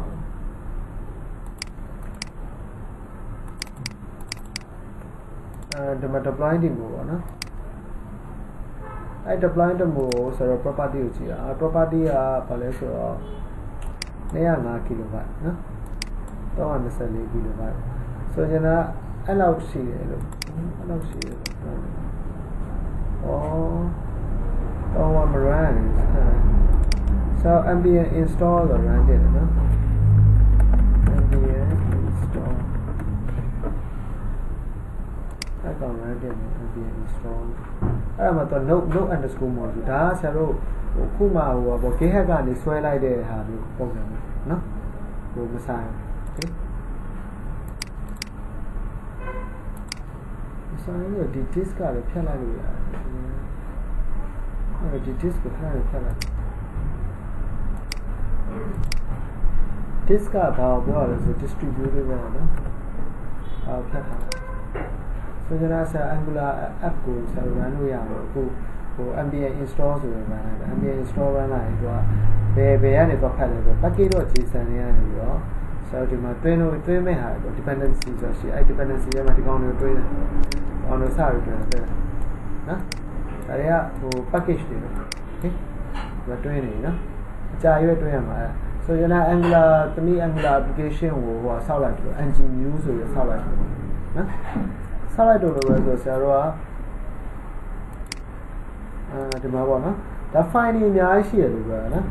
file တွေအများကြီးရှိရဆိုဆိုလိုချင်တာဒီ no underscore module မှာဆိုဆရာဘယ်လောက်ရှိလဲဆို230 megabyte လောက်ရှိတယ်ဘယ်ဟို project တစ်ခုကို230 megabyte ကိုတရားရင်ဟိုဆိုလိုချင်တာဟိုဘယ်လိုခေါ်မလဲဆိုတော့ဟို 1k ပြည့်ဖို့ဆို9ဘုံဘုံတစ်ပုံရှိတယ်ဟုတ်တယ်နော်ဟိုအဲ့အဆင်မပြေဘူးဟို1000 1000 megabyte ဆိုမှ 1k တောင်ရှိတော့မှာနော် အဲ့ဒါဆိုသူကဒီမှာ230တော့ဒါ9ဘုံဘုံတစ်ပုံတော့ဟိုရှိတယ်ဆိုတော့တစ်ပုံပေါ့နော်အဲ့ဒါအဆင်ပြေဟို project file ကအဲ့လောက်များတယ်မလို့ရသိလားဘာလို့ဆိုဟို PHP တို့ဘာလို့ project file တွေတော့မှအနည်းဆုံး Laravel project တော့ဘယ်လောက်ပဲရှိနေကြတော့ဟိုစစ်စစ်ဖြီလိုက်စစ်ချုပ်လိုက်ဘယ်လောက်လဲတမ်းမကပိုင်းတော့ရှိပြီ အဲ့လောက်တော့ပဲရှိသူကသူအဲ့ဒါမဟုတ်သေးဘူးနော်အဲ့ဒါတွေဒီအားတွေ file တွေ copy ခုမဲ့လို့မဟုတ်ဘူး project တစ်ခုလုံး copy ကူရဆိုရင်တော့တခြားဟိုဟာ server မှာ server run လိုက်တယ်ဆိုရင်အိဗယ်ပေါ့ဒီ file ယူပြီးဒီ file အတွက်ကို run လို့ရတယ် command တွေပါအကုန်ပါပြီးသားနော်ကုန်ပါပြီးသားဆိုတော့သူ့ကိုတခြားကျွန်တော် Node.js install လုပ်ထားတယ်ခြားနေရာမှာ run လုပ်ရတယ်ဆိုတော့ setup ဖြစ်သွားနော်ဟုတ်ပြီအဲ့ဒါဆိုရင်ဒီမှာတော့ vendor.vendor.js အဲ့ကောင်လေးဝင်သွားနော် vendor ပုံလား vendor ထဲမှာအဲ့တော့ဒီမှာကျ2.58 megabyte လို့ဟိုဆိုလိုချင်တာဟိုဆရာတို့ NG sub လို့ run လိုက်ရတယ်2.58 megabyte ရှိပြီလို့ပြောတို့ run လိုက်ရအောင် combine လုပ်လိုက်ရအောင်နော် run တော့အဲ့ဒါ main main.vendor.js ကကြာ server ရှိတယ်ဆိုတော့20.8 20.8ဆိုတော့ဆရာတို့ဘာမှမထည့်ထားရတဲ့20.8ဖြစ်ဒီ main.vendor.js ကဘာလဲဆိုတော့ဆရာတို့ component ထဲမှာ style တွေသွားထည့်ထားတာလို့နော် ဆိုရင်တော့ဒီမှာ component တွေရှိရမှာအဲ component တွေရှိတော့ခါကြဒီမှာလေဒီမှာ CSS file နော်အဲ CSS file နေပြောခါရဒီမှာပါလဲ style.css နော်အဲ CSS file ဆိုကြတော့အဲ့လို CSS file နေမှာသူကဟိုပေါ့နော်ဟိုပေါင်းသွားတော့ခါကြတော့ main. ဟိုဗာလဲ bundle.js ဆိုဖြစ်ဆိုကြ JavaScript file ဖြစ်သွားတယ်လားနော် အဲ့အကုန်ပေါင်းမှာရှိသမျှပါလဲ file တွေကုန်ပေါင်းမှာနော်ဟုတ်ပါရှင်းတဲ့ file ဒါကြီးက sorry sorry ဒါကြီးကဟိုက HTML code တွေပါပါမယ်ထင်တယ်နော်ဟို component နဲ့အဲ template code တွေဒီမှာ style.bundle.js ကမှာဆိုတော့အဲ့ဒါပေါင်းပါ okay ဒီမှာ style.bundle.js ကလည်းဆိုချင်တာသူအဓိက site တွေကိုပြချင်တယ်တိလားဒီမှာ site တွေကဒီလောက်ဒီလောက်ရှိရတယ်နော်ဒီမှာ20 KB ပဲရှိတယ်ဒီကောင်က159နော် 159ဆိုတော့ဟုတ်ပါအဲ့မှာ optimization technique ဆိုတာရှိတယ်နော် optimization technique ဆိုတာဆရာတို့ဒီ app ကို deploy မလုပ်ခင်ဘယ်လို optimize လုပ်လဲနော်အရင်တော့ optimization technique တွေရှိတယ်ဒါပေမဲ့ angular အတွက်တော့မဟုတ်ဘူးလေနော်ဆိုကြတာ minification ဆိုပြီးစလာအဲ့ဒါတခုရှိတယ် minification ဆိုတာဘာကိုပြောလဲဆိုဥပမာဆိုဒီ code ကိုကြည့်ကြည့်ဒီ code ကအခုဆရာတို့ဖတ်လို့ရယ်နော်ဘာလို့ဆိုတော့ तू ကအ ခုဆိုဒီမှာကြီး comment ကိုလည်းသူတခြားလုပ်ပေးထားဒီမှာတစ်ခုနှစ်ခုသုံးခုဆိုရယ်နော်သုံးချောင်းတော့ဆိုရင်လည်းပြည့်ဒီမှာအောက်မှာဒါကြီးကအလွတ်ကြီးနေရာကြီးကျန်တယ်ကြည့်ကြတယ်နော်ဒီမှာလည်းလွတ်ကြီးနေရာကြီးကျန်ဟုတ်နော်ပြည့်ဒီဘက်မှာလည်းဆရာတို့ဗာလဲအလွတ်ကြီးနေရာကြီးကျန်တယ်ဆိုလိုချင်တာကဒီဒီရာလေးကိုဒီနားမှာလာထည့်လို့မရဘူးလားရရနော်ဒီတုံဝင်ဖွင့်လေးကိုလာထည့်လို့ရအဲဆိုလိုချင်တာဒီမှာလည်းအဲ့တိုင်းပဲသူကတုံဝင်ဖွင့်ဘေးနားကက်ရက်ကိုလာရေးလို့မရဘူးလေဒီ on click က ဟမ်ရေးလို့ရနော်ဆိုရင် minification ဆိုတာဒါမျိုးကိုပြောတာသူကဒီကလိုအပ်တဲ့နေရာတွေကိုပဲသူကဘာလို့တော့ space ချမ်းမဖြစ်မနေကွာဒါကကုတ်မှာချမ်းမချမ်းမဟုတ်တဲ့နေရာတွေဘလုံးဝမချမ်းတော့ဟုတ်နော်သူဆိုချင်တာအဲ့ဒါ white space လို့ခေါ်တယ်အဲ့ဒါနော်ဒါလေးတွေကို white space လို့ခေါ်တယ်နော်ဒီမှာရေးထားမှာ SPACE ဖြစ်ရ SPACE ဖြစ်ရနော်အဲ white space နော်အဲ white space တွေကိုဆရာတို့ကဖျောက်ပလိုက်တာအဓိကကတော့နော် ပြီးဒီကောင်ကနောက်ထပ်တစ်ခုက uglification uglification ဆိုတာဘာကိုပြောရလဲဘာဘာကိုပြောရလဲဆိုတော့ uglification ဆိုတာကကြတော့သူကဥပမာဆိုဒီမှာ home component မလားဟုတ်တယ်မလားဒါဆိုဆရာတို့ကဖတ်လွယ်ဟိုထားပါတော့အဲ့နေရာကို XC လို့ရေးလိုက်ဆရာတို့ဖတ်လွယ်လား OC ရဲ့ဘာမှလည်းမသိအဲ uglification လို့ခေါ်တယ်နော်ဆိုရဒီမှာ home component on click ကိုသွားပါလဲ HC OC ဆိုဆိုရတဲ့အတုံကောင်းတွေပြောင်းပြတာဗျာအဓိကပြောချင်တာ နော် amplification လုပ်တယ်ဆိုဒါကတုံတောင်လူကဖတ်လို့မလွယ်တော့ဒါကကိုယ့်ကို deployment မလုပ်ခင်ပဲလုပ်ကြဆိုလိုချင်တာ deployment လုပ်နေတော့မလုပ်ကြ deployment ဆိုကိုကအခုဒီ set ထဲမှာကိုယ့်ရဲ့ set ထဲမှာ angular application ကိုမလုပ်တော့ဟို deploy လုပ်နေလို့ရှိရယ်ဟို online မှာမတင်နေဘူးအဓိကပြောနေတာ online မှာတင်တော့မယ်ဆိုဆရာတို့က minification လုပ်တယ်ပြီးတော့ခါကျ amplification လုပ်တယ်အဲ့လိုမျိုးတွေပေါ့နော်ပြီးတော့ခါကျဗာလဲ bundling အဲ bundling ကဘာကိုပြောရလဲဆိုဒီ bundling ကကြတော့ဆိုတော့ ဟုတ်ပြီအဲ့ဒါမှကြည့်လိုက် bundle မလုပ်ထားဘူးဆိုရင်လည်းပုံမှန်ဆို HTTP request တွေအများကြီးရမယ်နော်ပြီး bundle လုပ်ထားဆိုလို့ရှိရင် HTTP request တစ်ခုပဲ HTTP request များကြီး website loading time နေစီတယ်နော်ဆိုရင်တော့ဥပမာဆိုဆရာတို့ဥပမာဆိုဒါကဘာလဲဆိုတော့အဓိကကတော့ Angular application ထဲမှာဆရာတို့ JavaScript file တွေအများကြီးပဲတင်တယ်အဲ့အများကြီးကိုမှဆရာတို့ဘာလုပ်လိုက်လဲဆိုတော့ bundling လုပ်လိုက်တာ bundling ဆိုတာဒီ၄ခုကိုတစ်ခုပေါင်းလိုက်တာ ဆိုရင်တော့ဥပမာဆို HTML file ထဲမှာဆရာတို့ဆရာတို့ HTML file တစ်ခုထဲမှာပေါ့နော် JavaScript file ကိုနှစ်ခုသုံးခုလောက်ချိန်မယ်စာအဲ့ file သုံးခုစလုံးကိုတစ် file ထဲမှာပေါင်းရေးပြီးတော့ချိန်လိုက်တာပိုကောင်းတယ်ဒါပေမဲ့ဆရာတို့ကရေးတဲ့ချိန်ညရင်တော့3 file ခွဲရေးတယ်ဘာလို့လဲဆိုတော့ကုတ်ကိုပြင်ရတာလွယ်ပေါ့ဟို protection ထုတ်မဲ့အချိန်ကျ bundling လုပ်ပြီးထုတ်လိုက်တာဆိုရင်ဒီ3 file ကိုတ define နေတဲ့ပေါင်းနဲ့အဲ့လိုမျိုးထုတ်လို့ရတဲ့ package လေးရှိတယ်ဟို node package manage ဟို ဆိုချင်တာ node module တွေက package လေးရှိရတယ်လို့ပြောနော်နော်အဲ package လေးရှိရ npm နဲ့တွင်းလို့ရတယ်နော် node package manager နဲ့ install လုပ်လို့ရတယ်ဟုတ်ပြီအဲ့ဒါဆိုလို့ရှိရင် तू ကဆိုချင်တာတော့ HTTP request တွေကတော့အများကြီးလောက်အောင်ပါဥပမာ server ပေါ်ကနေ define define down လိုက်တယ်အဲနောက်တစ်ခါ request လုပ်တယ်နောက်တစ်ခါ request လုပ်တယ်ဆိုဒီ website ကြီး၄ရော ဘာပါလဲတော့ request တစ်ခုတစ်ခုလုပ်ပြီးမှသူက server ကနေပါလဲဆိုတော့ i file တွေကို response ပြန်လိုက်တာအဲ javascript file တွေကိုပြန်ပြီးတော့ဒီ browser ကိုပြန်ပြီး response ပြန်လိုက်တာဒီ browser စခြင်းဘာလို့တောင်း request line လောက်တာစပါအောင်ဘာလို့ request line လောက်လဲဆိုတမီးကဒီနေရာမှာထားပါတော့ facebook.com လို့ရလာအဲ facebook Facebook website ထဲမှာရှိတဲ့ JavaScript file တွေ CSS file တွေကိုသူကစပြီး request လုပ်တယ်နော်အဲ Facebook server ကို request လုပ်အဲ Facebook server ကနေလမ်းပြပါလို့လားဒီဘက်ကိုပြန်ပြီးတော့ response ပြန် browser response ပြန်လိုက်အဲ့ချိန်ကျမှတမီးကဘာတွေမြင်ရလဲဆို UI နဲ့မြင်ရဟုတ်ပြီနော်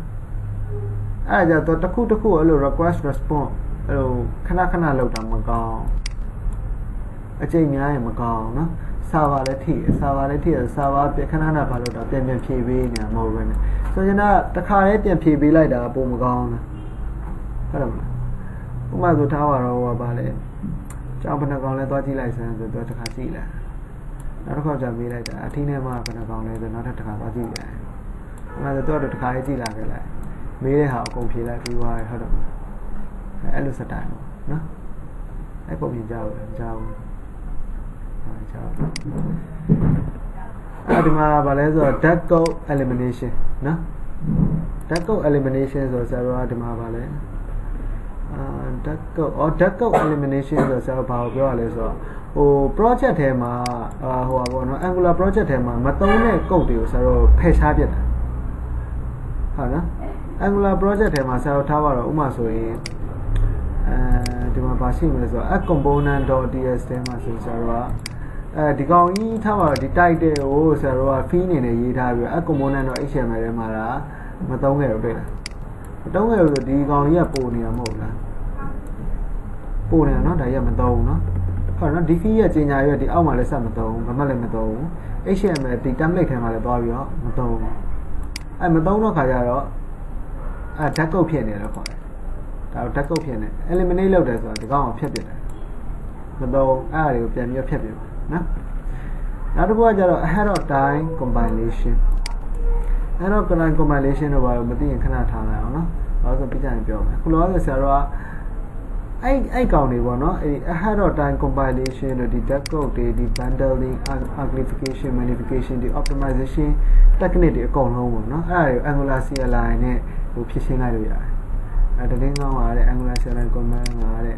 socket optimization technique တွေအကုန်လုံးကိုလုပ်ပေးနိုင်တယ်ဆိုရင်ဒီ command လေး run လုပ်အောင် ng bit minus minus prop နော်ဆို minus နှစ်ခါ okay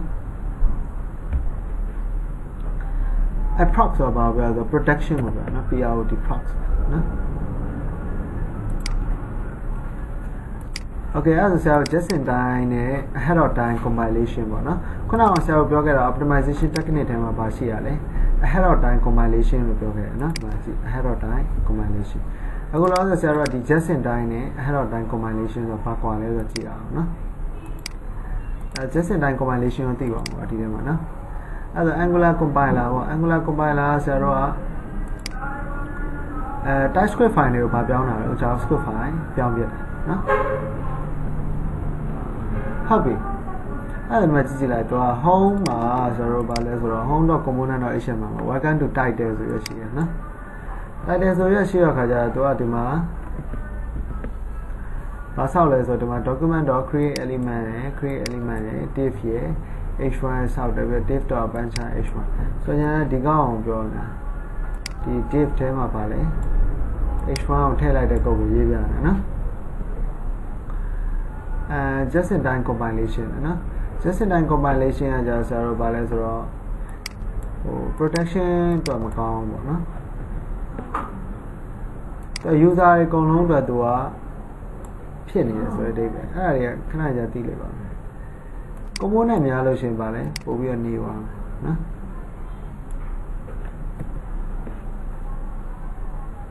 we have to share angular compiler angular compiler ကိုတည်ဆောင်တယ်ဆိုတော့ Vanda bundle ကိုတည်ဆောင်ရတယ်လို့ပြောတာနော်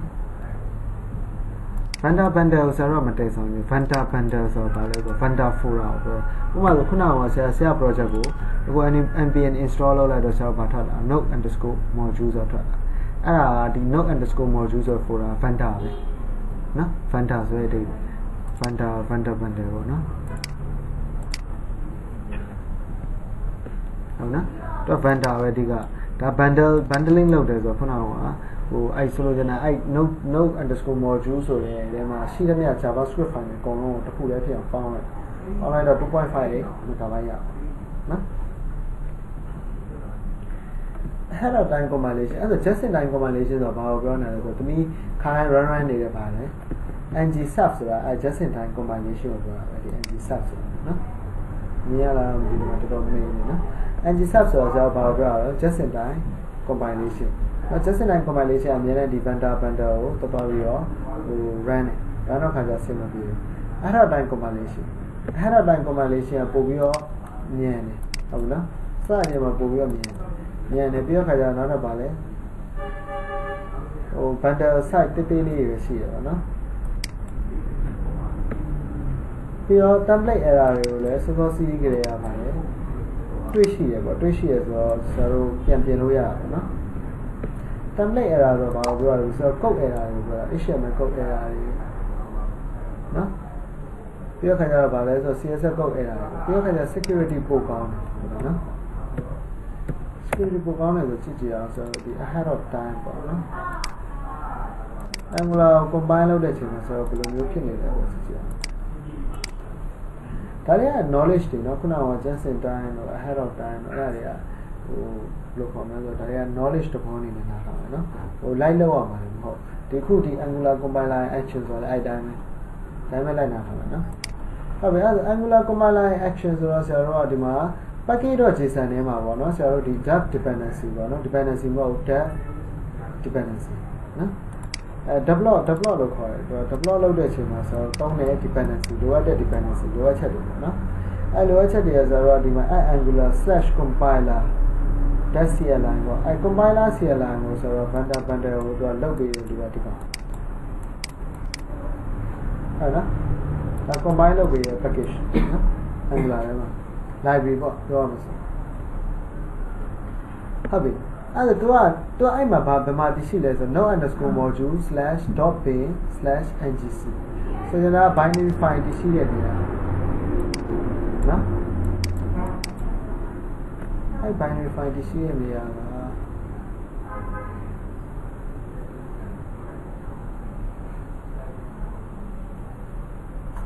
binary file တွေရှိတဲ့နေရာ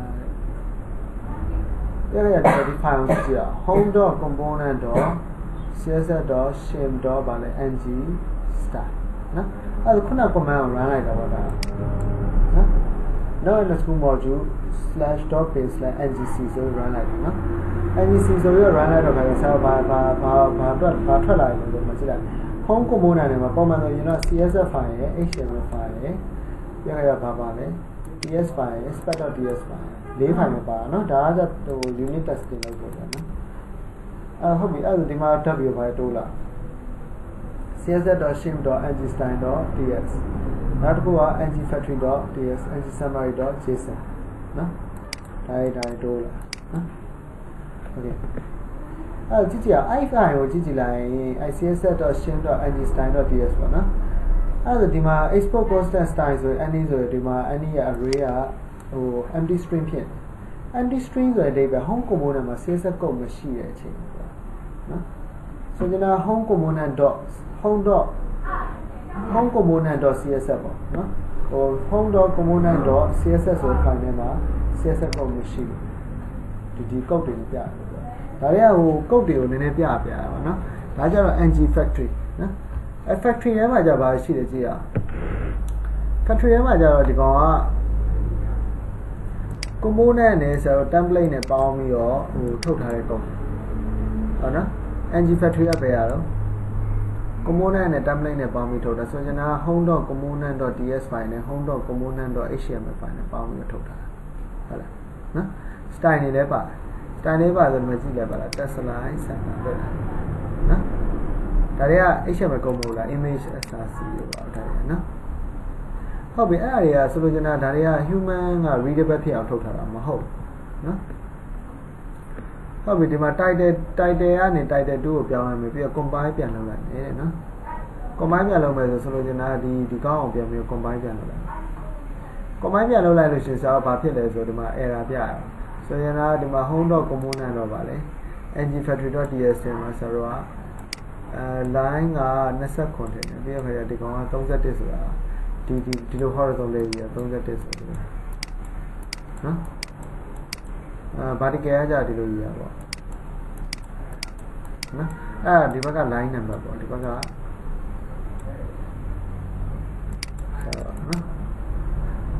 Okay အဲ့ဒါဒီမှာ property က title 2က does not exist on type ပါလေ home component home component ပေါ်မှာမရှိဘူးအတွက်နော်ဒါ error လာပြမယ်နော်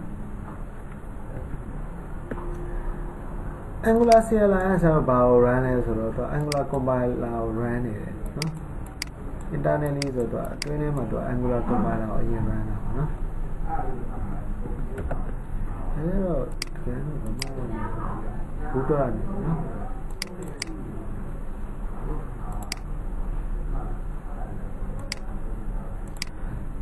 ဟုတ်ပြီ application ကိုတည်ဆောက်မယ် Angular CLI နဲ့တည်ဆောက်မယ်နော် application တည်ဆောက်မယ်ဆိုဒီမှာကြည့်ကြည့်လိုက်ဆိုတော့ဒီမှာဟို git github မှာတော့ဟိုဘောပြောင်းဖို့အတွက်တော့25ပဲရှိတယ်နော်ဟို github ဆိုတာဘာပြောရလဲဆိုတော့ git git ပေါ့နော် git ဆိုတာဘာပြောရလဲဆိုတော့ဟိုတမီးကဟိုဘော version control system ဆိုတာတမီးကထားတော့ဟို project တစ်ခုခုကိုရေးနေတဲ့အချိန်မှာဆိုတော့အဲ့ version control system ကိုတော့ save လိုက်လို့ရတယ် save လိုက်တယ်ဆိုတမီးရဲ့ state ပေါ့ဟိုဟိုမှာတစ်ခေါက်ကဆိုတော့ planner ထဲမှာလုပ်လို့လေ planner ထဲမှာဆိုတော့ history နဲ့ save ခဲ့တယ်မှာအဲအဲ့လိုမျိုးတွေ save လို့ရ version control ဟို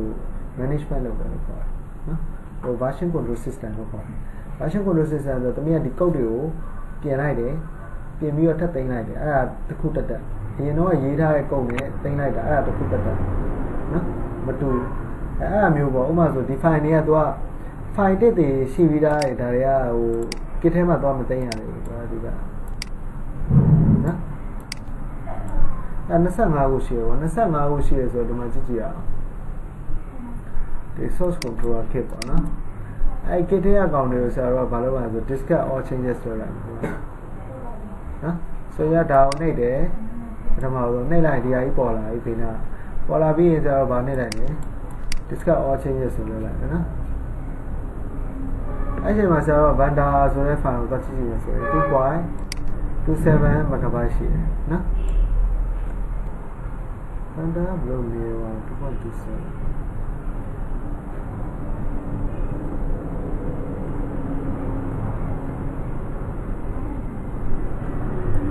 အခုဒီမှာ disk folder လေးရှိမယ်နော်အဲဒါ distributable folder ပါနော် distributable folder ကခုနဆရာတို့ဘာ RAM မှာပေါ်လဲဆို ngBit မိုင်းနဲ့မိုင်းနဲ့ prop ဆိုရ run လာဆိုလို့ရတယ်နော်အဲအဲ့ကောင်နဲ့ run လိုက်ဆိုတော့ဒီ distributable ဆိုဖြန့်ဝေလို့ရတဲ့ file လေးထုတ်ပြတာ အဲဖြန့်ဝေလို့ရတဲ့ file ထဲမှာသူကဘာတွေပဲရှိရလဲဆိုတော့နည်းနည်းလေးပဲရှိရတော့ inline တို့ main တို့ polyfill တို့ဒါပေမဲ့ index.html file ကြည့်ရအောင်ဟုတ်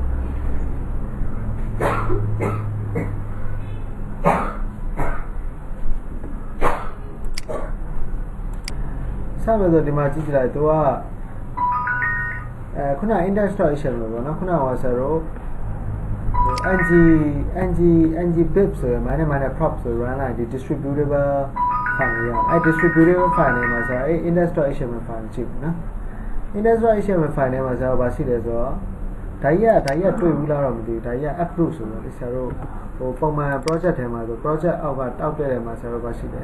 index.html file ပဲရှိတယ်အဲ index.html file မှာကျွန်တော်တွေ့တာဒါပေမဲ့ဒီအောက်မှာဆရာတို့ javascript file တွေချိန်ထားပါမပါဘူးနော် မပါဘူးဆိုတဲ့အဓိပ္ပာယ်ဒီမှာじゃပါကြည့်လိုက်နော်အဲ့ဒါသူ distributable file ဖြစ်သွားတယ်ဆိုရင်လည်းသူအများကြီးပဲပါ inline.bundle.js ကိုခုန polyfill ရောဆိုရင်လည်းဟိုရှိသမျှ file တွေပုံချိန်တာခုနကဆရာတို့ဟို ng sub နဲ့ run လိုက်တဲ့အချိန်မှာ combine လုပ်လိုက်တဲ့အချိန်မှာပေါ့နော်အဲ combine လုပ်လိုက်တဲ့အချိန်မှာထွက်လာတယ်များအဲ bundle လောက်ထား bundling လောက်ထား javascript file တွေအကုန်ဒီမှာလာချိန်ထားနော်အဲ့မှာကြည့်လိုက်ဒါကကြတော့ဆရာတို့ဘာမှမရှိဘူးလေနော်ဆိုရဒါဒါဒါ project ထဲဟော ဒီကောင် define နဲ့မတူဘူး define က define src file ပေါ့ဒီကောင်ကကြတော့ distribute distribution ဆိုရဲ this this folder ပေါ့နော် distributed folder okay အဲ့မှာ inline.bundle.js ကိုဖွင့်ကြည့်အောင်နော် inline.bundle.js ကဘာလဲထူးခြားပါလို့ဒါ optimization technique ကိုမသုံးထားရတယ်လို့အဓိကနော်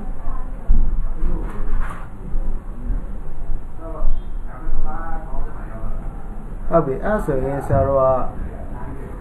ဒီ component ကိုမသုံးဘူးလို့ပြောတာနော် component တွေမှာဆရာတို့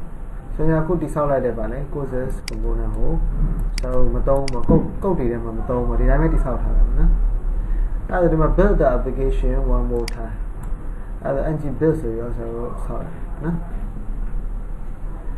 ng build ဆိုဆောက်လိုက်လို့ရှိရင်ဒီမှာပါလဲဆိုတော့ဟို main.bundle.js မှာသူကဝင်နေတဲ့ component တွေနော် အာ component တွေကဝင်နေတဲ့ခါကျဒီမှာကြည့်လိုက် courses component ဆိုတွေ့ရတယ်။မရှာကြည့်လိုက်နော်။ဆိုရင်နာ ng base နဲ့ပဲဆောက်လို့ဟိုမျိုးမဟုတ် ng base ဘန်းနဲ့ဘန်းနဲ့ product မဆောက်ရဘူးနော်။အဲကြောင့်မို့သူကဗာလဲဆိုမလိုအပ်တဲ့ဟိုပေါ်မတုံးရတဲ့ component တွေကိုသူကလာပြီးတော့ဖော်ပြ။အမှန်ဆိုပြဒါကဓာတ်ကုတ်ဖြစ်နေဓာတ်ကုတ်ဆိုတာမတုံးတဲ့ကုတ်တွေနော်။ဟိုအမှန်ဆို eliminate လုပ်ရမှာ eliminate ဆိုတာဖယ်ရှားပြရနော်။ အဲ့လိုဖြစ်တယ်ဦးရဲ့ဆိုလိုချင်တာကဒီမှာ minification နဲ့ amplification ပါသေးတယ်တဲ့ angular application က bundle bundle မှာတော့ဘယ်မှာမရှိတော့ဘူးเนาะ bundle bundle ထဲမှာတော့မရှိတော့ဘူးကျန်နေရလို့ပြောတာเนาะ magnification နဲ့ခုန minification လည်းမဖြစ် amplification လည်းမဖြစ်ဘူးเนาะဒါမှကြည့်ကြည့်လိုက်เนาะဒါရဒီမှာသူကတကယ်မလိုအပ်ဘူးလေဒီ space ရဲ့ အဲ့မှာ equal sign ရရှိနေမှာဒါပေမဲ့တော့ဒီတိုင်းပဲဟို readable ဖြစ်အောင်ထည့်ထားတယ်ပေါ့နော်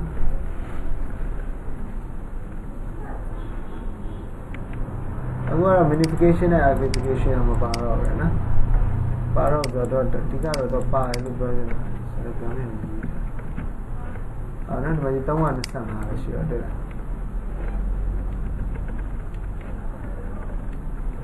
သူကဒီမှာကြည့်လိုက် distributed ပဲတဲ့ banda file ကိုတော့ကြည့်လိုက်ရတော့နော် distributed ပဲတဲ့ banda တော့နောက်တစ်ခုပါနော်အာနောက်တစ်ခုဆိုတော့မတူဟုတ်တယ်မတူမတူပါပဲအဲ့မှာဆိုတော့325 kilobyte ရှိတယ်ဟို watch space လည်းမရှိအောင်နော် illustration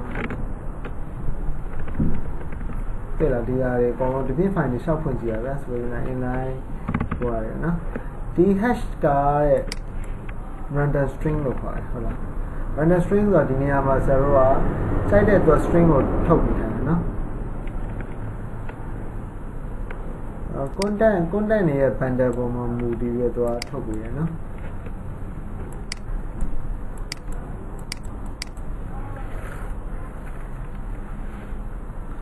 အော်ဟုတ်ပြီဆိုလိုချင်တာဥမာဆိုရင်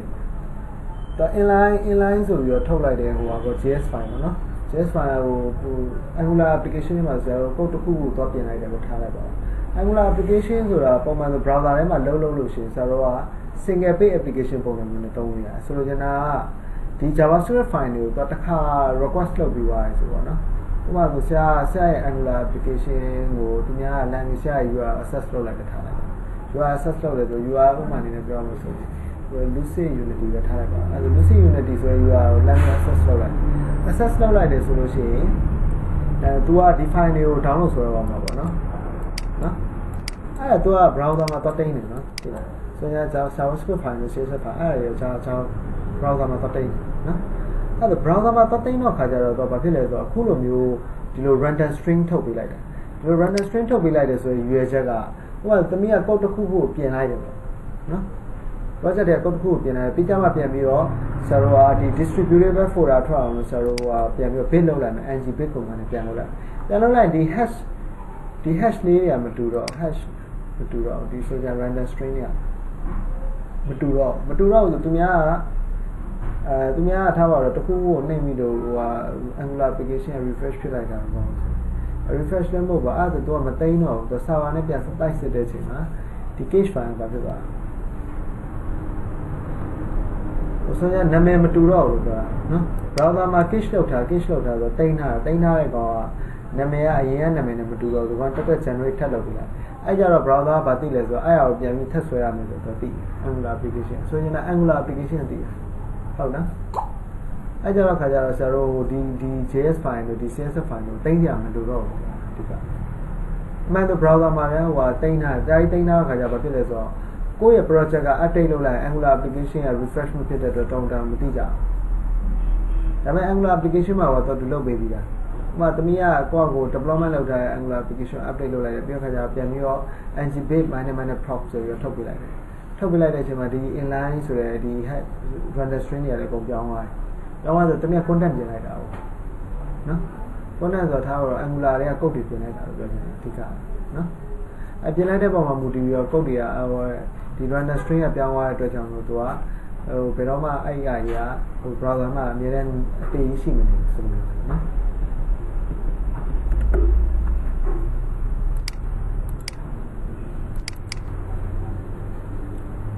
environment ကိုကြည့်ကြည့်အောင်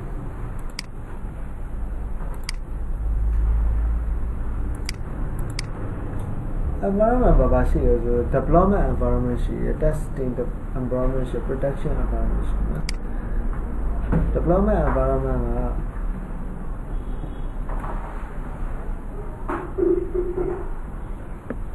development environment developer တွေလောက်တာပဲဆိုလို့ဆိုတာနော်အဲ developer တွေလောက်တာပါ development လောက်တယ် test လောက်တာကျ tester တွေလောက်တာပါနော် protection ကတခုခုပေါ့နော် ဟိုသူ project နဲ့ဆိုင်တဲ့ဟိုကြီးတဲ့လူတွေလောက်ကြပါအောင်နော်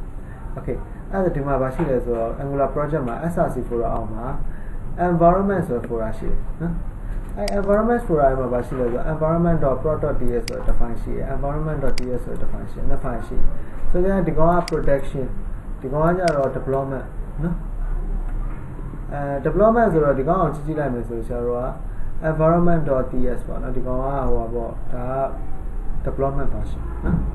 အဲ development version ဆိုဆရာတို့ကဒီမှာ production ကို force လုပ်ပေးထားတယ်ပြောခဲ့ကြတော့ net bar background color ကိုဖြစ်တာတော့ဘယ်လိုလုပ်ပေးလိုက်နော်ဆိုရင်တော့စစချင်းက protection force လို့ရှိတာဒီလိုမှာဒီမှာ net bar background color ကိုကြပါလဲဘယ်လိုလုပ်ပေးလိုက်နော်ဘယ်လိုလုပ်ပေးရဆိုတော့ဒီကောင်မျိုးသတ်မှတ်တယ်ဆိုတာအလကားသတ်မှတ်တာမဟုတ်ဥပမာဆိုရင် software တစ်ခုကဥပမာဆိုဟို Angular application တစ်ခုပေါ့နော် Angular application တစ်ခုကို deploy လုပ်နေတဲ့ UI ကတစ်မျိုးအနေနဲ့ထားလိုက်ပြီဗျာဟို tester တွေကိုဆရာတို့ကပေးထားလိုက်မယ် testing version project တစ်ခုပေးထားလိုက်ပေးထားလိုက်မယ်ဆိုအဲ့ဒါကိုအဲ့ဒါကို test လုပ်ဖို့အတွက်ဆရာတို့ကအယောင်နဲ့သူ့ကိုခွဲပေးထားမယ်အဲ့လိုမျိုးပေါ့နော်ဥပမာဆိုရင်ဒါကကြတော့ဟို development လုပ်နေတဲ့ဟို navigation ရဲ့ background ရောကြတော့ပြန်အောင်ပေါ့ဆိုလို့ရှိရင်ပြီးခါကျတော့ production production ဘက်မှာကျတော့ဆိုတော့တကယ်တော့ဟို background ကလာပါလေအဖြူပါ နော်အဲဆရာတို့အဲ့အရာတွေကိုဘယ်လိုမျိုးထည့်မှာလဲဘယ်လိုမျိုးထည့်မှာလဲဆိုဒီကောင်းအောင်ဆိုတော့ဒီမှာထပ်ပြီးတော့လည်းဟိုလုပ်လို့ရ ng page ဆိုတာ minus minus env ဆိုတော့ proc ဆိုတာနော်အဲ့ဒါကိုလည်းသူတိဆောက်လို့ရဒီ command နဲ့လေနော်ဟုတ်ပြီအဲ့ဒါဆိုရင်ကြည့်ကြည့်အောင်ဆရာတို့ကခေါက်သုံးတဲ့နည်းပေါ့နော်ခေါက်သုံးတဲ့နည်းဆိုတော့ပုံမှန်လွယ်လွယ်ပါပဲသူက environment environment ကလည်း ခေါက်သုံးပါပေါ့နော်ဒီကောင်းကြဘယ်လိုပတ်တော်ကလာဖြစ်ဟောဒီမှာ environment တော့ဗာလဲ net background color နော် net background color အဲ့ဒါဆိုတော့ background color ဆို field ကိုထည့်လိုက်တာပေါ့နော်အဲ့ field ကနေမှတစ်စင်အဲဆိုတော့ဘယ်လိုပါလဲဆိုတော့ဒီမှာ background color နော်ဒါ style binding လုပ်လိုက်တာဟုတ်တော့ okay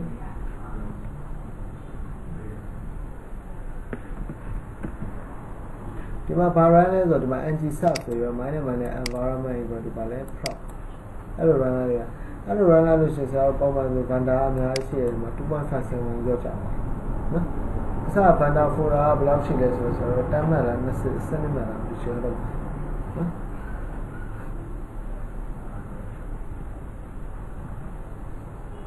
ဟုတ်ပြီနောက်တစ်ခု ng sub လို့ run လိုက်မယ် ng sub လို့ run လိုက်ကြမတူပြန်ဘူးသူက အော်ဒီဒီ environment file တွေကိုပြင်ပြီးသွားပြီဆိုရင်တမီးဘယ်တော့မှဆို Angular application ကိုဆိုကြတာဒီ environment file တွေကိုပြင်ပြီးသွားပြီပေါ့နော်ပြင်ပြီးသွားပြီးတော့အဲ့ file တွေကိုစိတ်ခဲ့တာစိတ်ခဲ့ပြီးတော့ခါကြတော့တမီးက Angular server restart ပြန်လို့ restart ပြန်မလို့ဒီကောင်မသိဘူးဟုတ်နော်အရင်တော့ဖြစ်တဲ့ပြဿနာကလည်းပါလေ Angular server restart မလုပ်လိုက်ဘူးနော်အခုတော့ restart ပြန်လို့ restart ပြန်လို့ရင်တမီးသိပါလိမ့်မယ်နော် ဟိုအဖက်မဖြစ်ဘူးလို့ပြောဆိုလိုချင်ဒီ background ကလာတမီးထည့်တာထည့်တာဒါပေမဲ့အဖက်လာမဖြစ်ဘူးဒီ fee ကအဲ့ဒါဒီ value ကပါမှမပါလာတယ်မပါလာရဲဆိုတော့ဒီပဲ environment တွေမှာဒီကောင်မရှိဘူးလို့ယူဆအဲ့တော့တခါလဲခုနက run ထားတယ်ဆရာ project NG sub ဆိုနော်အဲ run ထားတော့ခါကြတော့ဟိုပေါ့အဲ့ဒါအစင်အစင်မပြေဘူးပေါ့နော်ဆိုလိုချင်တာအဲ့လိုမျိုး run ထားတဲ့ခါကျတော့သူကတခါလဲသူကမှတ်ထားတယ်မှတ်ထားဆိုဒီ environment environment က ng sub လောက်တာ ਨੇ ပထမတစ်ချိန်အဲ environment file ကိုတွားဖတ်လိုက်တယ်တွားဖတ်ပြီးအသေးပဲဟိုနောက်ထပ်ပြောင်းတဲ့ file တွေလည်းသူလာလဲ့ကြည့်နေတယ်မဟုတ် sync လောက်တာလည်းမဟုတ်အဲ့လိုဖြစ်တဲ့အတွက်ကြောင့်မို့ဆရာတို့ကကောက်ကိုရေးရကောက်ကိုစစ်ရစစ်ရဘာလို့ကကောက်ကိုပြန်ပြီးစပါအောင် restart ချတယ်နော်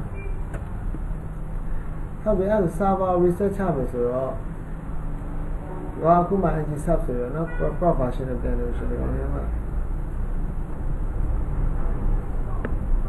ဟုတ်ပြီဒီမှာ ng sub ဆိုရ run ရမှာနော် ng sub ဆို run လိုက်တော့ဗာဖြစ်နေတာ vanda vanda အမလား2.57 style တော့ vanda 99159နော်ပြီးတော့ main တော့ main တော့ vanda 15.7ဒီမှာ background ပါလေအပြအောင်လေနော် okay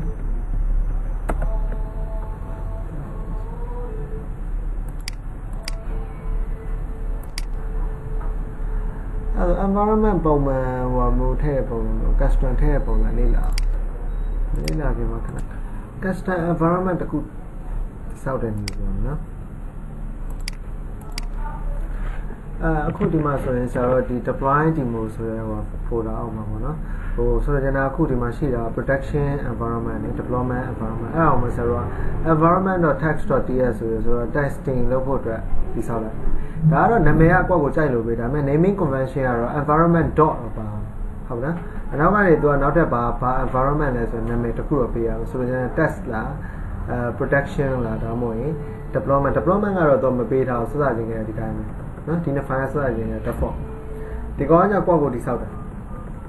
ဆိုကြနာသမီးက testing လုပ်ပေးလိုက်ရ test လုပ်ပေးလိုက်ရလို့ပြောအဓိကနော်ဒါပေမဲ့ဟိုဟိုလိုမျိုးတော့မပေးနဲ့ပေါ့ environment.a.ts ဆိုအဲ့ဒါမျိုးမပေးနဲ့ပေါ့နော်အဓိပ္ပာယ်ရှိတဲ့နာမည်လေးတော့ပေး Okay အဲ့ဒါဒီမှာ environment.text.ts တွေမှာဆရာတို့ကဘယ်ဟာကိုတွားပြီးတော့ copy ကူးလိုက်မှာလဲဆိုဒီ environment.proc.ts ကိုတွားပြီးတော့ proc.ts မှာ environment.ts file ကိုဆရာတို့ copy ပွားလိုက်တာနော် ဟိုဆိုကြတဲ့ဒီ file ကနေပြီး save as ပြန်လုပ်လိုက်တာဒီ file ဟုတ်တယ်နာမည်ပေးပြီးတော့ဘာလို့ဒီဒီ environment.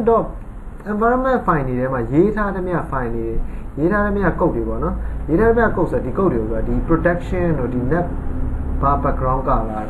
ကြီးအကုန်လုံးတူရမယ်နော် define နဲ့ define သူက value လေးပဲပေါ်ပေါ်သွားနော်ဟုတ်နော်အဲ့ဒါမှအဆင်ပြေမှာနော်အဲ့ဒါဒီမှာ we need to register this way angular CLI angular CLI နဲ့ဆရာတို့ကအဲ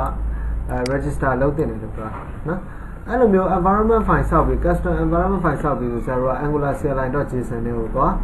သွားပြီးဒီမှာ environment ဆိုတာရှိတယ် environment ဆိုတာရှိရတယ်မှာဆရာတို့ထပ်ပြီးတော့ဘာလို့မှလဲဆို environment.text.ts ဆိုရဆရာတို့ဟို test ဆိုရဆရာတို့ဒီ test ဆိုစကလုံးနဲ့စားထိုးပြီးတော့ဒါကကွက်ကွက်နာမည်ပေးရဒါကဒီမှာကြကြိုက်တဲ့နာမည်ပေးနော်ဆိုရဒီနေရာနဲ့ဒီနာမည်နဲ့လည်းသူကြမယ်ဒီအလယ်မှာရှိမှမရှိတာအဲသူပေးထားတွေ့တာ tab ဆိုရနော်ဒါတော့သူပေးထား နော်အဲ register လောက်อ่ะ register လောက်ရဒီမှာ ng sub ဆိုရင် minus minus environment ကိုတို့ပါလေ tag ဆိုရလောက်လိုက်တရား test ကဆရာကဗာပေးခဲ့တယ်ဆိုတော့ဟို test environment background color ခင်းအောင်เนาะ purple purple ဆိုတော့ဒီမှာကြည့်ကြည့်လိုက်ရင်သူကဒီမှာခင်းအောင်ဖြစ်သွားတယ်ဆိုချင်တယ်เนาะဟုတ်နော်ဒီကောလည်းပြန်ပြီးတော့ဟိုလောက်တာပေါ့ ng sub minus minus environment ဆိုပြန်ပြီးတော့ run တာပေါ့เนาะ ဟုတ်ပြီ ng bit minus minus environment ကိုတူပါလေ test ဆိုရဆိုတော့ဟို bit လောက်မယ် bit လောက်မယ်ဆိုဒီကောင်းအောင်ဗာပြောင်းလိုက်မယ်ဆိုရင် green ပြောင်းလိုက်မယ်နော်ဟိုအစတော့ purple purple နော် purple ဆိုတော့ဆိုတော့ဒါကိုဗာပြောချင်တာလဲဆိုတော့သူက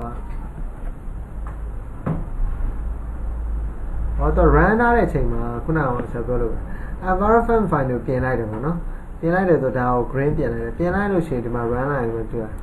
green ပေါ်လာမပေါ်ဘူးဆိုတော့ sync မလုပ်ဘူးလို့ပြောတော့နော် sync မလုပ်ဟိုခုနက combine လုပ်ထားတယ်သူ sync သွားမလုပ်ဒီ environment file နဲ့နော်သူပြန်ပြီးတော့ server ကို restart လုပ်ပေးရတယ်နော်ဟိုတဲ့ဟိုပြောင်းတာဟာဟိုဟာတဲ့ reflect မဖြစ်ဘူးလေနော်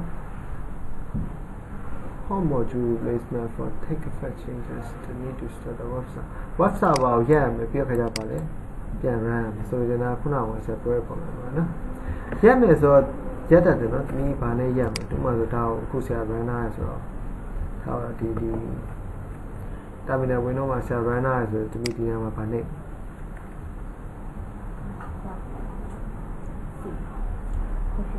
အဲဒါ control C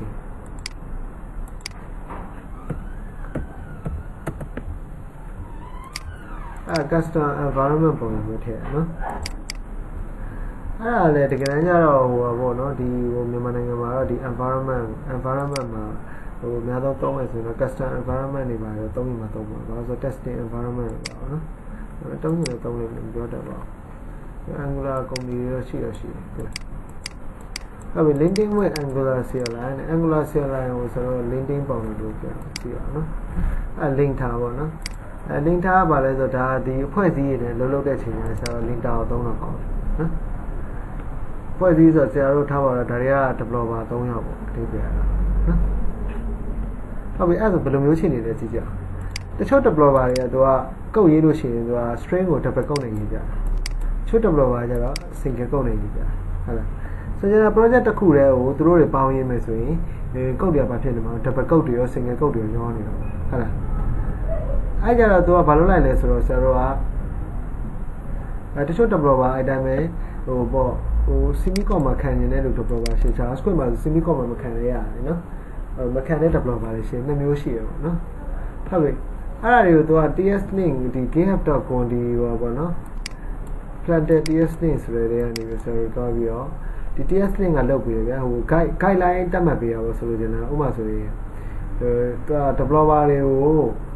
ဒီ project ထဲမှာငါတို့က string ရေးမယ်ဆိုရင် double code ပဲရေးဆိုတော့တတ်မှတ်လိုက်တာ ဆိုရင်တယောက်ကတတ်မှတ်လိုက်တာတတ်မှတ်လိုက်တော့အောက်ကရေးတဲ့လူတွေကနော်ဆိုရင် project ထဲမှာပါဝင်နေတဲ့လူရေးတဲ့လူတွေကသူတို့တယောက်တယောက်ချင်းစီကတော့ဘာဖြစ်သွားလဲဆိုတော့အဲ့တိုင်းအဲ့စီမင်းစီကနာကိုလိုက်နာလိုက်နာဆိုတော့အဲ့ဒါတက်နော်အဲ့ဒါပြပေးတာပေါ့ဗျာ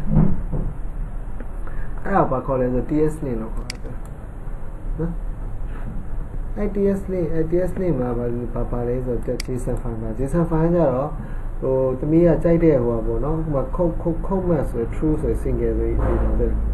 single ကိုတမီးက double လို့ပြောင်းနေတယ်ကြာဆိုရင်ဟိုက ng link ဆိုရဆိုတော့ဒီမှာဟို ng link ဆိုရဆိုတော့ဒီ rule တွေကို check in လုပ်လို့ရတယ်နော် check in လုပ်လိုက်လို့ရှိရင်ဒီမှာဒီ GitHub follower services.ts မှာ line 11ကဘာဖြစ်နေလဲဆို trailing white space ထီတခုလုံးကြတယ် trailing white space နော် အဲဒါ follower.service.ts တဲ့ကိုကြည့်မယ် line number 11ပေါ့နော်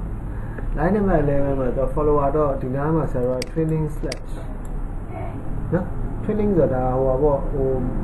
ပိုးနေတကယ်တမ်းကျတော့ဒီနေရာမှာဆရာက space ခံပြီးတော့မှ enter ခောက်လိုက်လို့ဖြစ်သွားဟုတ်အဲ့ဒီပဲပြောနော် space ကဟိုပါပေါ့ဒီတုံဝင်မိမှဆိုဆရာက enter တန်းခောက်လို့ရတယ်လေဒီအကြောင်းကြီးကိုအဲ့လိုမဟုတ်တော့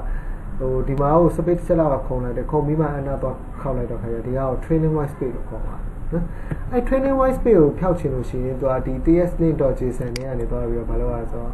no training white space ကိုဘာလုပ်ရလဲအာ training white space မရှိတဲ့ဟာကို true ပေးလိုက်ပါတော့ဒါ no training white space ကိုဘာလုပ်တာ true ပေးလိုက်နော်ဟုတ်ပြီအဲ့ဒါဆိုနောက်တစ်ခုကြည့်ကြအောင် နောက်တစ်ခုကတော့ TS လေးနဲ့ကြည့်လိုက်လို့ရှိရင်ဆိုတော့ဒီမှာ identifier ID is never assigned အဲ ID ကဆရာတို့ fee တွေပါတယ်တခုပေါ်ကြီးညာထားတယ်ဒါပေမဲ့ဟိုမတုံးလည်းမတုံးဘူးပေါ့ဆိုရင်လားနော် never reassign you constant instead of let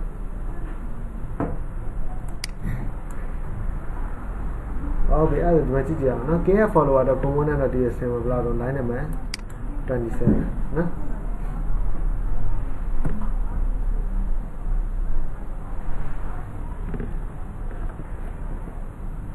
ဟုတ်ပြီဒီမှာ engine link ဆိုပြီးတော့ဆရာပုံမှန်ဆိုရင်အဲ့လိုပေါ့ထားပါတော့ engine link နဲ့ run လိုက်ဆိုတော့ error တွေတော့တွေ့နိုင်တယ်ကုတ်ထဲမှာဒါပေမဲ့အဲ့ဒါတွေကိုတွားပြီးတစ်ခုချင်းစီလိုက်ပြင်နေတာကြီးအဓိပ္ပာယ်တိတ်မရှိဘူးတခါလေကြာတော့ဘာလို့ဆိုကြာတယ်ရောနော်ကြာတယ်ဆိုတော့ तू ကအဲ့ link တာကနေရ TS link ကနေရဆရာတို့လုတ်ပေးနိုင်တဲ့အလုပ်တွေကိုဆရာတို့နာမည် comment နဲ့ run လုပ်ဆိုချင်တာ ng link ဆိုရော minus minus fix ဆိုရဆရာ fix လုပ်လိုက်နော် fix လုပ်လိုက်လို့ရှိရင် तू ကတောင်းတောင်း तू ပြင်ပေးနိုင်တဲ့ဟာတွေအကုန်လုံးတော့ तू ပြင်ပေးသွားတယ် तू rule နဲ့သတ်မှတ်ထားတယ်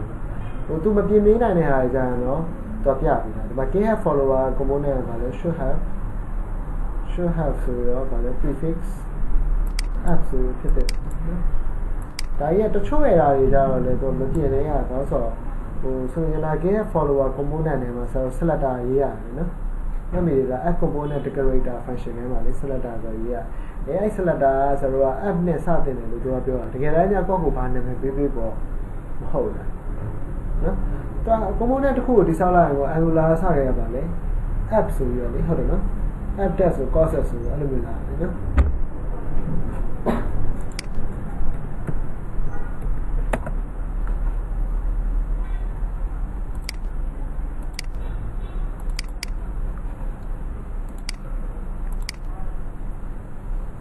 အဲ့ဒါ linting linting ကိုထည့်အောင် TS link ကို VS code ထဲမှာထည့်အောင်နော်အဲ့ဒါဒီမှာ extension ကိုနေတဲ့ extension ကိုနေလိုက်ဒီဘက်က panel ကြီးကြာလာအဲ့ panel ကြီးထဲမှာပါလဲဆိုတော့ဒီမှာ TS link လို့ရလာတဲ့အဲ့ TS TS link ဆိုတဲ့ extension ကြာလာဒီမှာအခမာဆိုတဲ့ဒီရေးတာเนาะဒါတော့ထုတ်တဲ့ဒီ TS link extension ထုတ်လုပ်တယ်အဲ့မှာ install button လေးလိုက်ရင် install link ဆိုပြလိုက်တယ်ဒါဆိုလို့ကျွန်တော် TS link ဆိုတဲ့ extension ကို install လုပ်လိုက်တာဟုတ်နော်အဲ့ပြီးတော့ခါကျဆိုတော့ အဲ browser ကိုဆိုတော့ပြီးတော့ဟိုဒီ browser ဖြစ်ကုန်မယ်ဒီ VS code ပေါ့နော် Visual Studio Code ကို refresh လုပ်ရတယ်ဒီနားလေးမှာပြင်ပြင် pattern လေးပါလာဒါမှမဟုတ်ဒီနားလေးမှာပြင်ပြင် reload ဆိုပြီးတော့ဟို icon လေးပေါ်လာတယ်အဲ့ဒါ icon လေးကိုနှိပ်လိုက်ရင်တော့တူ VS Code ကပိတ်ပြီးတော့တူပြန်ဖွင့်လာတယ်ပြန်ဖွင့်လာရင်ဒီ TS link ဆိုတဲ့ extension ကဘာလို့အလုပ်လုပ်သွားလဲဆိုတော့အလုပ်လုပ်တယ်ဆိုကြည့်ကြအောင်ဒီမှာ तू က trailing wise ပြီးတော့တက်တက်ချန်တာပေါ့နော်တက်ချန်တာဆိုဒီမှာဆိုတစ်ချက်ကြည့်လိုက်ရင်ဒီကောင်ကလည်း အဲဒီကောင်ကကျတော့ဆရာတို့ကဘာပြောရလဲဆိုတော့ဟုတ်ပြီအမှန်ဆိုဒီကောင်ကို fix လုပ်မယ်ဆိုရင်ဒီကောင်ကဘာလဲဆိုတော့ double code နဲ့ရေးထားလို့အမှန်ဆိုတော့အဲ should be ပါလေ single code နော် single code ဆိုတော့ဆရာတို့ဒီမှာ fix ကအဲ့ဒါဘာနဲ့တုပ်လဲဆို control period နဲ့ဆိုတော့လို့ရဒီမှာ mouse တင် okay နော် control period နဲ့လုပ်လို့ရတယ်ပြီးတော့ in ts link ပေါ့နော် ts link က ts link ဆိုရဒီလိုရရှာလို့ရဆိုရနော်နော် fix or auto fixable problem create a ts link.json file show output ဆိုအဲ့တော့ကျွန်တော်လိုက်တာ okay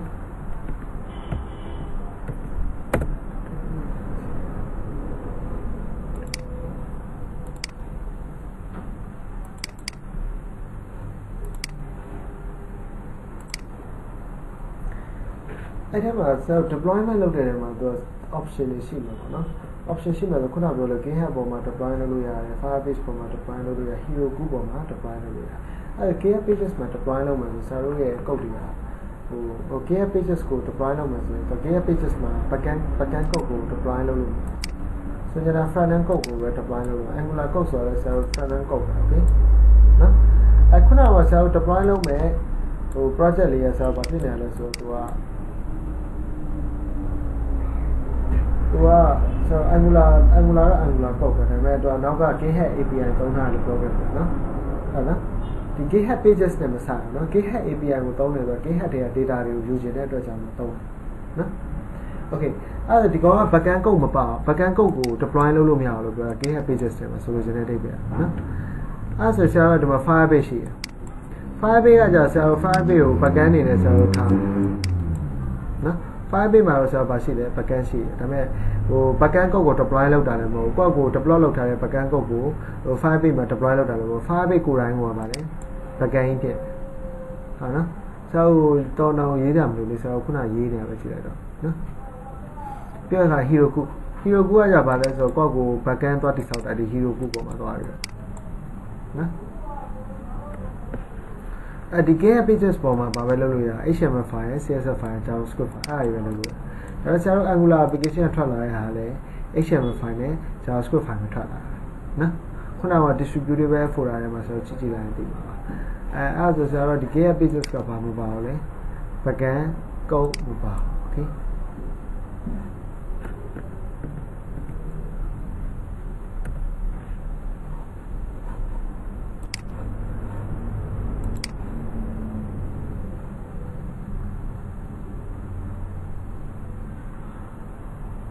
ဟုတ်ပြီအဲ့ဆရာတို့ဒီမှာ deploy လုပ်ဖို့ GitHub ကို deploy လုပ်ဖို့ဆိုတော့နောက်နေ့ကျွန်တော်ပြောအောင်နော်ဒါဒါ deploy လုပ်တာနောက်နေ့ပြောအောင်နော်ဒီလိုခု